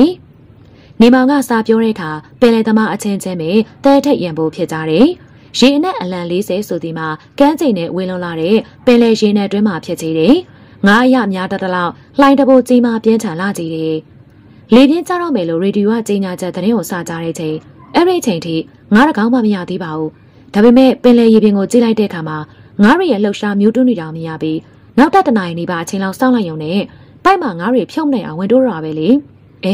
ဒါပေမဲ့အပြန်မှာတော့လေပြင်းတောင်အလူလဲခန်းလိုက်ကြရတာပေါ့ဗျာ။အေးကွယ် မောင်နီမောင်ရဲ့စွန်စားမှုတော့ဦးလေးချီးကျူးပါတယ်။ကျေးဇူးတန်လည်းဂုဏ်ယူပါတယ်။ဒါပေမဲ့နောက်ကိုဒီလောက်ဒုက္ခခံပြီးတော့မစွန်စားပါနဲ့ကွယ်။ငားမရကြလည်းနေပါစီတော့။ကျွန်တော်တယောက်တည်းစွန်စားလို့ဒီလိုအောင်မြင်တာမဟုတ်ပါဘူးဗျာ။အားလုံးနဲ့တိုင်ပင်ပြီးတော့မှစွန်စားကြတာပါ။ဒီလိုပေါ့ဦးလေးရသူ့ဆန်စားမှတော့ရေးရတော့မှာပေါ့။အဲ့ဒီစကားကိုဆိုလိုက်တဲ့ချိန်မှာဇော်နီမနဲ့အကြည်ချင်းစုံမိကြလေတော့တယ်။ ဘသူမှစပြီးတော့မျက်နာမလွယ်ပဲအတန်ကြာသေးထိရှိနေကြရမှမလန်မကန်မှ9000ထန်းတင်နေတဲ့မောင်အေးကငါနဲ့အမောကိုပြေးသွားတာပဲဒီလိုမကြားတကြားလှမ်းအောင်လိုက်တော့မှရှက်ကိုရှက်ကန်နဲ့မျက်နာလွှဲလိုက်ကြတာအခုခါမှာဇော်နီမရဲ့အရင်ထဲမှာဆော့ဆော့ဖြစ်ပေါ်နေတဲ့စိုးရိမ်မှုတွေကင်းပါသွားပြီးမျက်နာလေးမှာကြည်လင်ဝန်းပနေကြပြီတော့ကအရေးငွေတွေကိုအလားပတွေကဖုံးလန်းထားခဲ့ပြီးဖြစ်ပြီးတယ် အဲဒီဖြစ်ပျက်ကိုအစာဆုံးကြည့်နေတဲ့ထုံးပြရဲ့ရင်ထဲမှာတော့ဒေါသတရားအာဃာတတရားတွေနဲ့တစားတစားများပြားလာလိမ့်ပြီအလုသမားတွေကိုလာစာထုတ်ပြီးတဲ့နေ့ဖြစ်ပြီးတယ်ငွေတွေကိုဇော်နီမကပင်ထုတ်ပြီးတာအလုသမားတွေမှာအစင်လိုက်လာစာတွေအသေးသေးရကြတယ်ပိုင်အပေါက်အပြဲတွေကိုအခါစားနေစားနဲ့ဖားတဲ့သူတွေကိုလည်းအဲ့ဒီနေ့မှာပဲထုတ်ပေးတဲ့အတွက်ဦးညွတ်တင်ရဲ့အိမ်မှာစီကားလေးရှိနေတာ အိမ်မှာထမင်းကျွေးပြီးလာကနဲ့ခိုင်းတဲ့သူတွေကိုတလ150ကျပ်နဲ့ဖြစ်ပြီးတော့ဆက်လီပေါ်မှာနောက်လိုက်တွေကို250ကျပ်ကနေ400ကျပ်ထိလှုပ်တန်းလိုက်ပေးရတယ်။ဆက်စရာတော့900ထိပေးရပြီးဦးစီတယောက်ရဲ့လစာမှာအများဆုံးဖြစ်ပြီးတယ်။လှုပ်တဲ့အတွေ့အကြုံအနေများတော့ရှိတာပေါ့။ထုံးပေတော်လိုလှုပ်တန်းရတဲ့သူတွေကို1500ထိပေးရပြီးနေမောင်တို့လိုလှုပ်တန်းနေတဲ့သူတွေကိုတော့1200ထိပေးရလေတော့တယ်။ နေမောင်ဟာပထမဦးစွာရလာတဲ့ဦးစီးလာစာကိုမိဘတွေကိုကြော့မယ်လို့စိတ်ကအိမ်မှန်ဇော်နီမချပေးထားတဲ့ငွေတွေကိုရွေတက်နေကြစဉ်အဲ့ဒီငွေတွေကိုစုထားပြီးတော့မိမတယောက်တောင်းယူရင်ရပြီဒီလိုတိုးတိုးလေးပြောလိုက်တဲ့ဇော်နီမအတန်ကြောင့်မောကြည့်လိုက်ရာမတိချင်အောင်စောင်းနေတဲ့အတွက်အောင်သက်သက်ဖြစ်သွားတယ်ဒီလောက်လာစာများများစုနေမှာတော့အမျိုးသမီးကိုငါးခေါက်ငါရွေမလုပ်ခိုင်းပါနဲ့တော့ဒီလိုထပ်ဆိုပြန်ရာဒီတစ်ချိန်တော့ရဲရဲကျန်းကျန်းမောကြည့်ပြီးတော့ဘသူ့ကိုပြောနေရလေဒီလိုမင်းလိုက်တာ ဇော်နီမကမခိုးတရုပ်ပြုံးရင်းနဲ့ငွေတွေကိုရေတွက်နေတဲ့မလန်မကန်မှအလဲဆောက်နေတဲ့မောင်အေးကကြာရန်ကုန်းလို့ထော်ပွားနေပြီ။ဒုံးဟာတနေ့လုံးမှတနေ့စားတဲ့ဘဝသူတစ်ပါးခိုင်းစီမှာထမင်းစားတဲ့ဘဝမှာဘသူ့မှမမျော်မှန်းရဲပါဘူး။မသိရင်ခတ်မယ်။မောမကြည့်ပဲနဲ့မဲပြီးတော့စကားဆိုလိုက်တာ။ဘာမှသိနေစရာမလိုဘူး။ခင်လေးနဲ့ဒုံးနဲ့ရိုးရိုးသားသားခင်ကြတာ။ဟာဘသူကရိုက်ဆက်နေလို့တော့ကိုစကားနဲ့ကိုပြန်မိသွားတဲ့အတွက်နေမောင်အောင်သက်သက်ဖြစ်သွားမိတယ်။ ဒါဖြင့်လဲသူမြောက်အတလုံးလိုက်ပြီးတော့ရှိမနေနဲ့လေအလုံးကျိန်းလိုက်လားသူပဲကြောက်နေရပါလားကဲဟိညံညံလောက်ပါဟာဒီကစောင့်နေရတဲ့သူကလဲဘင်းရှိလာပြီနင်လောက်တာနဲ့ဇော်ဝင်းတို့နဲ့ချိန်ထားတော့လွဲကုန်တော့မှာပဲဟာစိတ်ညစ်ဖို့ကောင်းလိုက်တာအိုးကိုမောင်အေးရလေဘလို့ဖြစ်နေမှမသိပါဘူးဒီမှာရင်းနေရမမြင်ဘူးလားလောလိုက်တာလဲရမ်းမယ်နော်ဇော်နီမကမောင်အေးရဲ့လစာကိုအပိသက်ထုတ်ပေးလိုက်ပြီးစရင်ကိုပိတ်လိုက်တယ်နေမောင်ကအခွင့်ရတော့ဇော်နီမအနီးကလက်ထွက်ရန်ပြန်လိုက်တာနဲ့ အဖေအတော့ခဏဆောင်မလို့မှားသွားတယ်။ဒီလိုဆိုလိုက်တဲ့အတွက်အောင်တတ်တတ်နဲ့ဆက်ပြီးတော့ထိုင်နေရတာ။မောင်အီကတော့ဒါမှကောင်းတယ်ဆိုတဲ့သဘောနဲ့ကြည့်ကရွှေမျိုးစွာနဲ့ထွက်ခွာသွားလိတော့တယ်။အခုခါမှာအခန်းအတွင်းမှာလူရှင်းသွားပြီဖြစ်တဲ့အတွက်ဇော်နီမောင်နဲ့နေမောင်တို့သာလင်ကြံခဲ့တော့ရာတိတ်ဆိတ်နေလေပြီ။ဇော်နီမဟာနေမောင်တို့ကိုအဲ့လိုညှင်းထားတာကိုပဲသဘောကျနေရတဲ့ပြုံးစီစီဖြစ်နေတာ။ဦးလေးကဘယ်ချိန်ပြန်ရောက်မှလဲ။တိဦးလေဘယ်ကိုသွားရတော့ ကျေးရွာရေရင်မော်တော်ကော်မတီဥက္ကဋ္ဌအိမ်ကိုသွားတာဘာအတွက်သွားတာလဲဟာမိကုန်းနေရစိတ်လိုက်လားမေးရတာပေါ့တဲ့ရင်ကြည့်တဲ့ကိစ္စဆိုရင်လေအခုပြန်သွားပြီးတော့နောက်မှတစ်ခေါက်ပြန်လာတဲ့ပြန်လာတာပေါ့နေမောင်စိတ်မရှိမှန်သိလေလေဇော်နေမသဘောကျလေလေဖြစ်တယ်နေကငါနဲ့တွေ့ရင်ဘာလို့စိတ်မရှိရလဲရင်ရှိပါတယ်ခတ်ထုတ်တို့ပြန်ဖြေချင်းကိုကြည့်ပြီးတော့စိတ်မရှိမှန်တည်တာနေတာမဟုတ်ပါဘူးတွေ့ရင်မျက်နှာအမြဲလုံးလို့တင်းမာနေရပဲ စကားပြောရင်လည်းတခါမှအဆင်ပြေတယ်မရှိလာဘူးဒါအနေထန်လို့ပါလူတအုံးနဲ့တူအဆင်ပြေတယ်ဆိုတာလေအဆင်ပြေခြင်းနဲ့စိတ်ရှိမှဖြစ်တာမျိုးပဲလေငါ့ကိုဆက်ဆက်ရင်မပြေပြဘူးလို့နေရဆိုလို့ကျင်တာလားဒီလိုအထိတော့မဆိုချင်ပါဘူးဒါပေမဲ့နေရတို့အလုပ်သမားတွေဆိုရင်အရော့တော်ဝင်ဆက်ဆံချင်တာမှမဟုတ်တဲ့ကိစ္စနေမောင်ရဲ့စကားကြောင့်ဇော်နီမမျက်နှာတစ်ချက်ပြတ်သွားတယ်အတန်ကြာသေးထိစင်စားနေတာ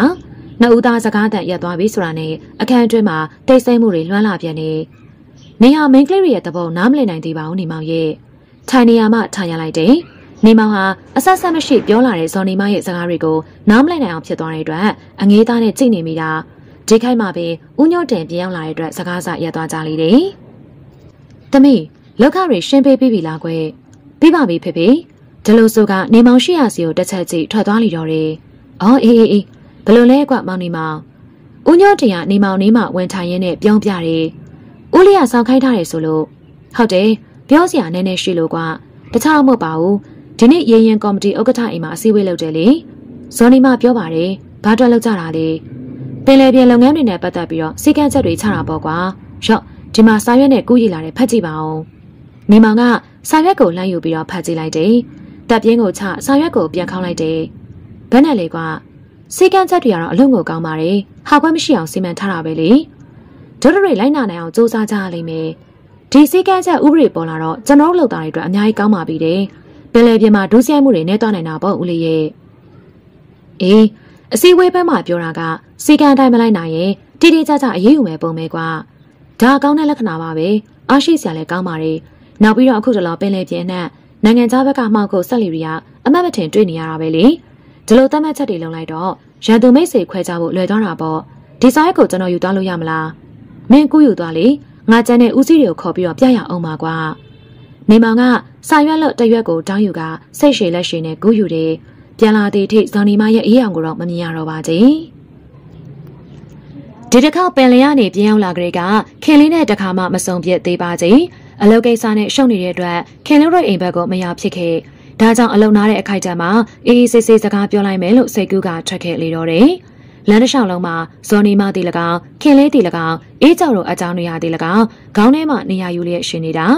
နေမောင်ဟာရွာတွေ့ရရှောင်းဝတီမှာညင်းငွေလာတဲ့အတွက်ကမ်းခြေတောင်ပြင်မှာထွက်ပြီးတော့ရှောက်ခဲ့တယ်။ရေးကြချိန်ဖြစ်တဲ့အတွက်ကျယ်ဝန်းလာတဲ့တဲတောင်ပြင်ကြီးကိုတမျောတခေါ်မြင်နေရတာ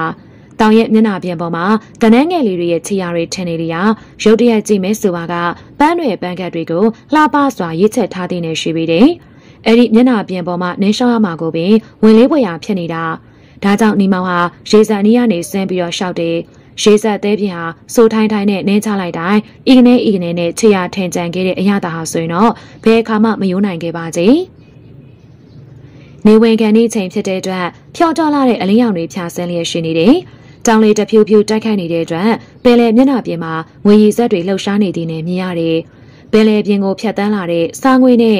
ရောပြိုးနေလေတော့တယ်။ရှူရှိုင်းရသည်မှာအာယန်သက်တွေတိုးပွားလာသည်နဲ့ခံစားရတယ်။တမျောတငေးမြပြပြမြင်နေရတဲ့သဘုံအိုင်တောင်မြဲတလျှောက်လူရှင်နေတာရေချိုးစင်းသူငါးပစုံတင်းတဲ့သူတွေတောင်မှမတွေ့ရတဲ့အတွက်ရှောက်ရသည်မှာပဲလွန်လွန်လည်လည်ရှိနေတယ်အတွေ့ကောင်းစွာနဲ့ရှောက်လာရာမြောင်လန်းပင်အုပ်ကျင်းနာကိုရောက်လာလေတယ်အခုချိန်ရဆိုရင်တော့မှောင်စာပြိုးနေပြီဖြစ်ရာအဲ့ဒီနေရာတောင်အိမ်မှာအလွန်ပဲမှောင်နေကြပြီ တရင်နဲ့ရှောက်လာစမှာပဲထိုးချမှုတစ်ခုကိုမြင်လိုက်တဲ့အတွက်ခိတမြရက်ကြည့်နေမိတယ်တဲတဲကွဲကွဲမရှိလာတော့လေလူသုံးယောက်ရဲ့လှူရှားနေတဲ့တရံတွေကိုမြင်နေရတာမိန်းကလေးတယောက်ရဲ့အော်တန်ကိုလည်းခက်သက်သက်ကြားရတယ်။ဒါကြောင့်အဲ့ဒီနေရာနေကိုရှောက်သွားလိုက်တယ်။အအအကူခင်လေးရဲ့တန်ကိုရုပ်ချင်းမှတ်မိလိုက်တဲ့အတွက်ခြေလန်းသွက်သွက်နဲ့ပြေးဝင်သွားလိုက်တာအနည်းကိုရောက်တဲ့အခါမှာတော့ခင်လေးနဲ့တခြားနှစ်ယောက်ရဲ့တရံကိုမြင်လိုက်တဲ့အတွက်အမောင်ထဲမှာပဲနေဆက်ရညောင်လိုင်းကမ်းပြတစ်ချက်ကိုဆွဲပြီးဒရကြမ်းဝင်ရိုက်တယ်။ တိတ်ဆိတ်နေတဲ့ညောင်ညိုပင်စခန်းမှာရိုက်ပုတ်တန်အော်ဟစ်တန်တွေနဲ့စူညံလျက်ရှိနေတာ။ခဏချင်းမှာပဲအနီးမှဖျက်ရှောက်လာတဲ့အလုသမားတအုပ်နှစ်ဦးကဝင်ရောက်လာတဲ့အတွက်အရမသမားနှစ်ဦးမှာအမောင်တွင်းကိုဝင်ရောက်ပြကွယ်သွားလီတော့တယ်။အခုခါမှာပတ်ဝန်းကျင်မှာအတန်းငယ်တိတ်ဆိတ်နေပြီးခင်လေးရဲ့ရှိုက်တန်ကိုသာတစ်ခါတစ်ခါကြားရတာ။ဘာဖြစ်ကြတာလဲ။ဝင်ကူသူကမေးတဲ့ခါမှာတော့ဘဘာဖြစ်ကြရလဲကျွန်တော်လည်းစုံညံတန်ကြလို့ဘူးမသိဘာမသိပြင်းဝင်လာတာပဲ အမောင်ထဲမှာဆိုတော့လူနှစ်ယောက်ပြေးထွက်သွားတာတွေ့လိုက်တယ်လေနေမောင်ကအရမသမားနှစ်ဦးရဲ့တရံကိုတေးသေးချာချာတွေ့လိုက်တော့လေဖွင့်မပြောတော့ဘဲနဲ့အရမသမားတွေပါဗျာဟောဒီမင်္ဂလိကိုစော်ကားမဲ့ကြံလို့ဝင်ကူတာခမယောင်းနှစ်ယောက်ကူညီပေးတာကျေးဇူးတင်ပါတယ်ဒီလိုဆိုကနှုတ်ဆက်ပြီးခင်လေးကိုခေါ်ကထွက်ခဲ့လေတော့တယ်အခုခါမှာတောင်မြန်တစ်လျှောက်မှာအမောင်တို့ကလွှမ်းနေကြပြီးလမ်းခုလက်ရောက်တော့မှဘလို့ဖြစ်တာလဲကျမငါးဘိုးတွေရှင်းပြီးပြန်လာတာနည်းနည်းနောက်ကျသွားတယ်ဒီနောက်ရောက်တော့သူတို့နဲ့တွေ့တာပဲလေ ဒီကောင်တွေတိတ်ကုန်မရိုင်းတာပဲဦးညို့တင်အောင်ပြန်တိုင်းတော့အလောက်ကထုတ်ပြမှာသေးကြတယ်ကိုနဲ့လက်ဖို့ကိုင်းဘက်တွေမလွတ်တာပေါ့ကွာတချက်ကနေနဲ့ရှက်မဖြစ်ပါစေနဲ့တော့အကိုရင်ပြီးခဲ့တာတွေပြီးပါစေတော့ခင်လေးရရှိုက်တန်တဝမ်းနဲ့စကားဆိုရင်းနဲ့ညဝန်းမမျက်ရည်စာတွေကိုလက်မောင်းနဲ့ပင်တိုးတိုးပြန်လိုက်တယ်ပြီးတော့ပြပြေကျနေတဲ့သပင်တွေကိုပြီးဆက်လွယ်ပြန်ထုံပြီးတော့နေဝင်ပြီးစမောင်စေးချိန်မှာခင်လေးရဲ့ကဘိုးကယူအလှတွေကစိတ်ကိုလှုပ်ရှားစေတာ ဒါကြောင့်သူမဘက်ကမကြည့်မိအောင်စိတ်ကိုထင်ရှေ့ရနေအနေငယ်လွန်ပြီးတော့ရှောင်းလိုက်တယ်ခင်လေးကသူ့ခြေလမ်းတွေကိုအမိလိုက်ရှောင်ရင်းနဲ့စကားကြွကြွပြောနေတာအခုအချိန်မရောက်လာလို့ပြီးသားပေါ့နည်းနည်းလေးသာနောက်ကျမယ်ဆိုရင်ကျမဘွားတော့မတွေးဝဲစရာပဲလေအခုကျေးဇူးတင်ပါတယ်ဒါရင်မလိုပါဘူးခင်လေးရဲ့တို့ကချင်းချင်းနေပဲဥစ္စာအကြောင်းဖြစ်လာရင်ဒီလိုပဲအကူအညီပေးရမှာပေါ့နောက်ကိုဒီလိုမဖြစ်အောင်သာသွားလာဆင်ခြင်ပေါ့ဟုတ်ပလားအားနဲ့စွာပြုံးပြရင်လည်းခေါင်းညိတ်ပြလိုက်တာ အိမ်ရောက်ရင်အမေရှိမှမျက်နှာမပြတ်စေနဲ့တော့တော်ကြစိတ်မကောင်းဖြစ်နေအောင်ပဲအင်းမဒီလိုတိုးတိုးဆိုရင်အနည်းကိုတိုးရှောင်းလာတယ်လမ်းကကျင်းတဲ့အတွက်ပခုံးသားချင်းထိမိကြတယ်ခင်လေးထံကနေအမွေးနဲ့တာတစုံတရမရတော့လေတနခါနန်းကဲသို့သောကိုသဲနဲ့အတင်းတင်းကိုတတိပြုံမိတာတောင်ကနေဖြတ်ရွာကြီးကိုဝင်တဲ့အခါမှာတော့လမ်းကိုယ်တော်မှမမြင်ရတော့လေသွားနေကြလာနေကြလမ်းဖြစ်တဲ့အတွက်အခက်အခဲမရှိလာပါကြီးရွာတွင်းကနေရှောင်းလာကြစဲမှာနေမောက်မှာ စိုးရိမ်ထိတ်လန့်မှုတစုံတရာကလွှမ်းမိုးနေတယ်အေးကြော်နဲ့တွေးမှကိုသူစိုးရိမ်နေတာမိမိဘက်ကစိတ်ထားတတ်တယ်လို့ဆိုစေကမူအခုလိုအချိန်နေမျိုးမှတွေးလို့မလို့မတွေးလို့ချင်ပါကြီးပူရိစံလူသားတွေရဲ့စိတ်မှာအဘယ်မျှပင်သဘောထားကြည့်တယ်လို့ဆိုစေကမူတခါတရံမချင်မှတ်တဲ့အကြောင်းလေးတစ်ခုကနေအစာပြုကြီးထွားတဲ့ပြဿနာတွေထိဖြစ်လာနိုင်တယ်မဟုတ်ပါလားအိမ်ကိုရောက်သည့်တိုင်လမ်းမှာဘသူနဲ့မှမတွေ့ရတဲ့အတွက်စိတ်သက်သာမှုရလေတယ်။ ဂျော်ပိုင်းယုံခမသမီးအတွက်စိတ်ပူပန်စွာစောင့်မျှော်နေတာ။နေမောင်ကပင်အစဉ်ပြေအောင်ရှင်းပြလိုက်တော့မှကျိန်းနဲ့သွားလီတော့တယ်။နေမောင်ပြန်လာတဲ့အခါခင်လေးရဲ့မျက်နှာပြန်ပေါ်မှာတောင်းတမှုတစုံတရာကိုတတိပြုံမိတယ်။ဒီနေ့မှာချုံးပေတော်ဖွဲ့အခြေအနေပြတ်နေတယ်ဆိုတာအားလုံးကသတိပြုမိတယ်။ ပင်လယ်ပြင်မှပြန်ရောက်လေတိုင်းငားတွေဖြစ်လောက်အောင်ရရှိတာမတွေ့ရဘဲနဲ့အတန်အသင့်မြတာရကြတဲ့အတွက်အဲ့ဒီဆက်လီအတွက်ကုန်ကြစည်ပင်မကားမိအောင်ရှိတဲ့အတွက်ဦးညို့တင်ကဆက်လီထွက်ခံနေတိုင်းမှာကြဖွားပွားနဲ့မှားကြနေရတာ။မောင်ထုံးဖေရဲ့ကြည်လဲလောက်ပါအောင်ကွာတခေါက်တခေါက်ရတဲ့ငါဈေးတောင်မကြည့်ဘူးဖြစ်နေတာ။ကြိုင်ဦးလေးဒုက္ခရောက်လိမ့်မယ်ထင်ပါရဲ့။အဲ့ဒီခါရီမှာထုံးဖေကမျက်နှာထားတင်းတင်းနဲ့ဦးလေးရလေဗျာကျွန်တော်လည်းအစွမ်းကုန်စူးစမ်းနေကြတာပဲလေ မရတာတော့ဘယ်တက်နိုင်မှာမလဲရေထဲမှာရှိနေရငါ့ကိုဒေတိုင်းစမ်းဖက်လို့ဖြစ်တာမှမဟုတ်တာဘာလဲဦးလေးကနေမောင်းဆက်လျာအခေါက်တိုင်း900လာလို့ဒီစကားကိုပြောတာလားဒီလိုစင်ကြေပေးကခက်မှမှပင်ပြန်မေးလေးရှိတယ်ဆက်လီပိုင်ရှင်တွေဟာဆက်လီဦးစေးတယောက်ကိုတအုပ်ဆက်ပိုင်ဘရင်တညကြောက်ရွံ့နေကြရပေရာဦးညွတ်တယ်မှာဘလို့မှပြန်မပြောတာတော့ပဲနဲ့မဟုတ်ပါဘူးကွာဦးလေးကရှုံးလို့ရှုံးနေကြောင်ပြောပြတာပါဒလိုသားလေးပြေထွားတော့တယ်ဒီတစ်ချိန်ပင်လယ်ပြင်ကိုထွက်ကြတဲ့အခါ ထူးထူးခြားခြားဇော်နီမကဆင်းပြီးတော့နှုတ်ဆက်တဲ့အတွက်အားလုံးကအံ့ဩကြရလေတော့တယ်။ဒါအပင်မကြေမနက်ဖြစ်နေတဲ့ထုံးဖေတယောက်ကတော့တတ်တတ်လာပြီးတော့ရီပြန်ပါတယ်။မိမောင်တို့ကတော့ကွာမျက်နှာကိုပွက်နေတာပဲ။ဦးစီးဖြစ်တဲ့နှစ်မှာငါကလည်းအရန်ကိုရနေတော့ပန်ရှင်တွေကအရောက်မျက်နှာသာပေးနေတာပဲ။အခုလဲကြည့်ပါအောင်လား။ဇော်နီမတောင်ဆင်းပြီးတော့နှုတ်ဆက်ရတဲ့အဖြစ်အားကြမိပါရဲ့ကွာ။မဆိုင်တာတွေထက်ထက်ပြီးတော့ပြောမနေစမ်းပါနဲ့ကွန်ထိုဖေရေရိုးသားသားနှုတ်ဆက်တာ ဘာဖြစ်လို့ပြောချင်နေရတာလဲဗျငါလည်းစားစားပါလို့တခေါက်မှမပြောရသေးပါလားအိုးမလုံးအောင်ပွင့်မနေစမ်းပါနဲ့ကွာအေးဒါပေမဲ့မင်းတို့ငါတပည့်ဖြစ်ခဲ့ဘူးလို့စေတနာနဲ့တတိပေးရအောင်မေငရဆိုတာနှကောင်တပြိုင်နက်တည်းဖမ်းရင်အကုန်လုံးလုံးထွက်တတ်တယ်ကိုစိတ်ကြိုက်တကောင်ကိုရွေးဖက်တာစိတ်ချရဝဆုံးမဲဆိုတာမင်းမှတ်ထားလိုက်ထဲတလို့ရည်တလို့နဲ့ခက်နေနေပြောသွားတဲ့ထွန်းဖေရဲ့စကားကြောင့်မကြေမနက်ဖြစ်မိတော့လေဒေါသကိုမျိုးသိပ်ထားလိုက်ရတာ အဲ့ဒီစကားအရေးငွေကိုဇော်နေမသိတဲ့အခါဒေါသဖြစ်လာပြီးတော့နေရပါလို့ငြိမ်နေရလေဒီလိုပြောတော့ကိုသားပဲ့ပါသွားတာမှတ်လို့နင်တလောက်သိခံနေလို့လေအလောင်းဖျားဖြစ်မှာမဟုတ်ဘူးဖျားလောင်းလည်းဖြစ်မှာမဟုတ်ဘူးငါဒီလိုပြောရင်လွန်တယ်လို့ပြောအောင်ပါလောကမှာသိခံနိုင်လည်းမကောင်းဘူးဟာတခါတခါစကားနဲ့စော်ကားတာ ဒုံနဲ့ရိုက်တာတဲ့ဆိုးရဲဆိုတာနင်မသိဘူးလားကဲပါဟာဒီเจ้าနေပြောမနေပါနဲ့တော့အလောက်ကင်တွေးတွေပြက်လာပါတယ်အဲ့ဒီစကားကြောင့်ဇော်နီမမှာမကျေနပ်ပါစေ နေကောင်းထဲမှာအလောက်ကင်အကြောင်းကလွဲလို့တခြားဘာမှမရှိဘူးလေဟုတ်တယ်မလားဘလုံဦးတီပြောမဲ့နားမလည်တဲ့အတွက်ပြုံးပြီးတော့ခေါင်းကြီးပြလိုက်တယ်ဇော်နေမခမနေမငုံကြည့်ပြီးတော့အားမလို့အားမရရှိလာကလက်နှစ်ဖက်ကိုစောက်ချီဖြန့်ချီထိစိတ်လှုပ်ရှားနေတာလောကမှာလေမျက်လုံးလူစားမျိုးတွေရှိနေတာတချို့နေရာတွေမှာတော့တတော့ကိုစိတ်နှောက်ယှက်ဖြစ်စရာပဲဟမ်ဇော်နေမကအဲ့ဒီစကားပြောပြီးတော့အနည်းအနေထွက်သွားလေရာနေမောင်ခမပါဇက်အဟောင်းသားနဲ့ကြံခဲ့တာ ပင်လယ်ပြင်ကိုရောက်တဲ့အခါအပေါင်းအသင်းတွေကိုအဲ့ဒီကြောင်ပြောပြလိုက်တာနဲ့ငထူငအငထုံးဆိုပြီးနာမဝိသေသနာတွေကိုအတီးတီးကင်မွန်တက်ကြတယ်မရယောက်ျားတွေထဲမှာတော့ကျတော့ကိုထူတဲ့နှုံအားတဲ့ကောင်ပဲဇော်နီမအဲ့ဒီစကားဆိုလိုက်တဲ့အထိပ္ပယ်ကိုမင်းသိရလားခေါင်းကပြလိုက်တဲ့အခါမှာတော့အေးအဲ့ဒါကြောင့်မင်းဟာငထူတယောက်ဖြစ်နေတာကွာအဲ့ဒါတခြားမဟုတ်ဘူးမင်းကလေးကစပြောရမှလည်းမကောင်းမင်းကလည်းဘလုံးမစပြီးတော့ချက်တဲ့အရေးအောင်မပြတော့ဒေါသဖြစ်ပြီးတော့ပြောလိုက်တာကွာ အော်ဒီလိုသာတခုံးနဲ့ဆိုပြီးရှေ့ဆက်မပြောတော့တဲ့အခါတငယ်ချင်းတွေကပါလက်လျှော့လိုက်ကြတာ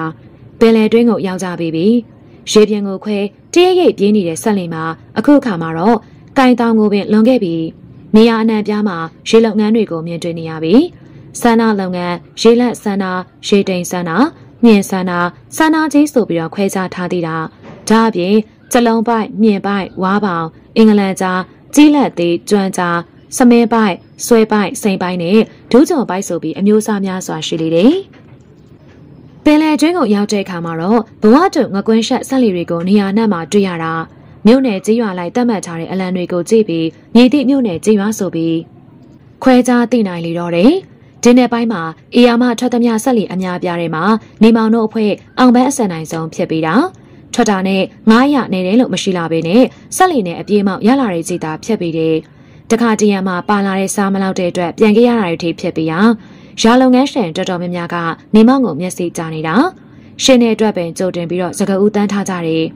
ဦးညွတ်တင်ကတော့နေမောင်လိုလူတော်တရားကိုလက်လွတ်ပေးရမှာစိုးရင်လုံးတဲ့အတွက်အစီအစဉ်ပြုလုပ်ထားတယ်။တမီးဖြစ်သူကအဲ့ဒီအစီအစဉ်ကိုဖွင့်ရတိုင်မတဲ့အခါမငင်းမဲနဲ့ဖိဖိသဘောပါပဲလို့ဆိုလာတဲ့အတွက်ပို့ပြီးတော့ကျေနပ်မိတာ။ဒီတစ်ခါပင်လယ်မှနေမောင်ပြန်လာပြီဆိုရင်မိမိစိတ်ကူကိုအကောင့်ထဲဖော်ရချက်တွေးထားတာ ဒီစီစဉ်တွေကိုပင်လယ်ပြင်ကိုရောက်နေပြီဖြစ်တဲ့နေမောင်ခမရတော့မသိရှာပါစေ။900နိုင်ရုပ်သာတွေးတောနေတာ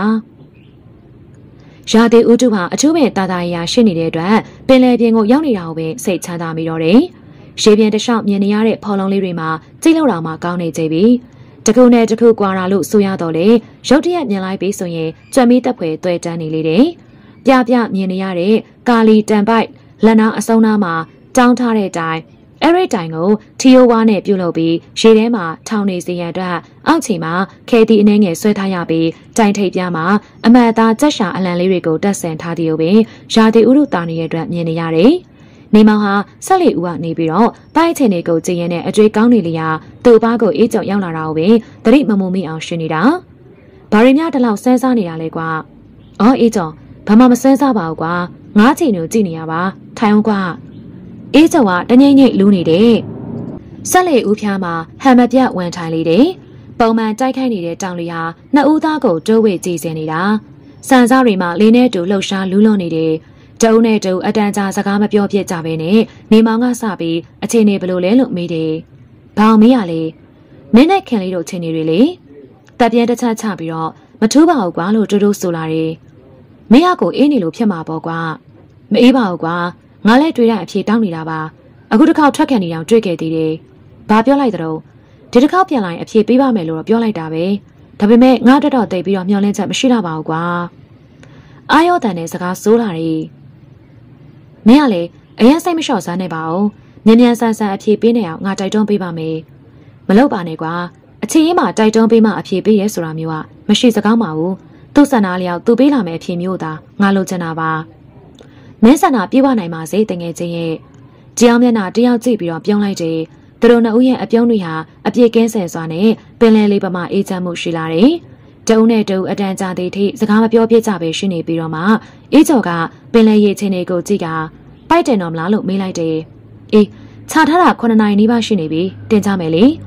နေမောင်ကပိုက်တယ်တော့မယ်လို့ပြောလိုက်တာနဲ့မော်တော်တစ်စင်းလုံးလှုပ်လှုပ်ရှားရှားဖြစ်သွားပြီး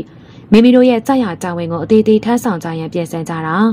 လေမိုးငိန်နေတဲ့အတွက်ဆက်မောင်းမထားဘဲနဲ့ဆက်လေကိုရေစုံတိုင်းမျောလျက်သားကပင်တင်ကြမှာဖြစ်ပြီးတယ်။ရှေ့ဆုံးမှပိုက်ကောင်းကျိုးဆွဲတင်တဲ့သူက၄ယောက်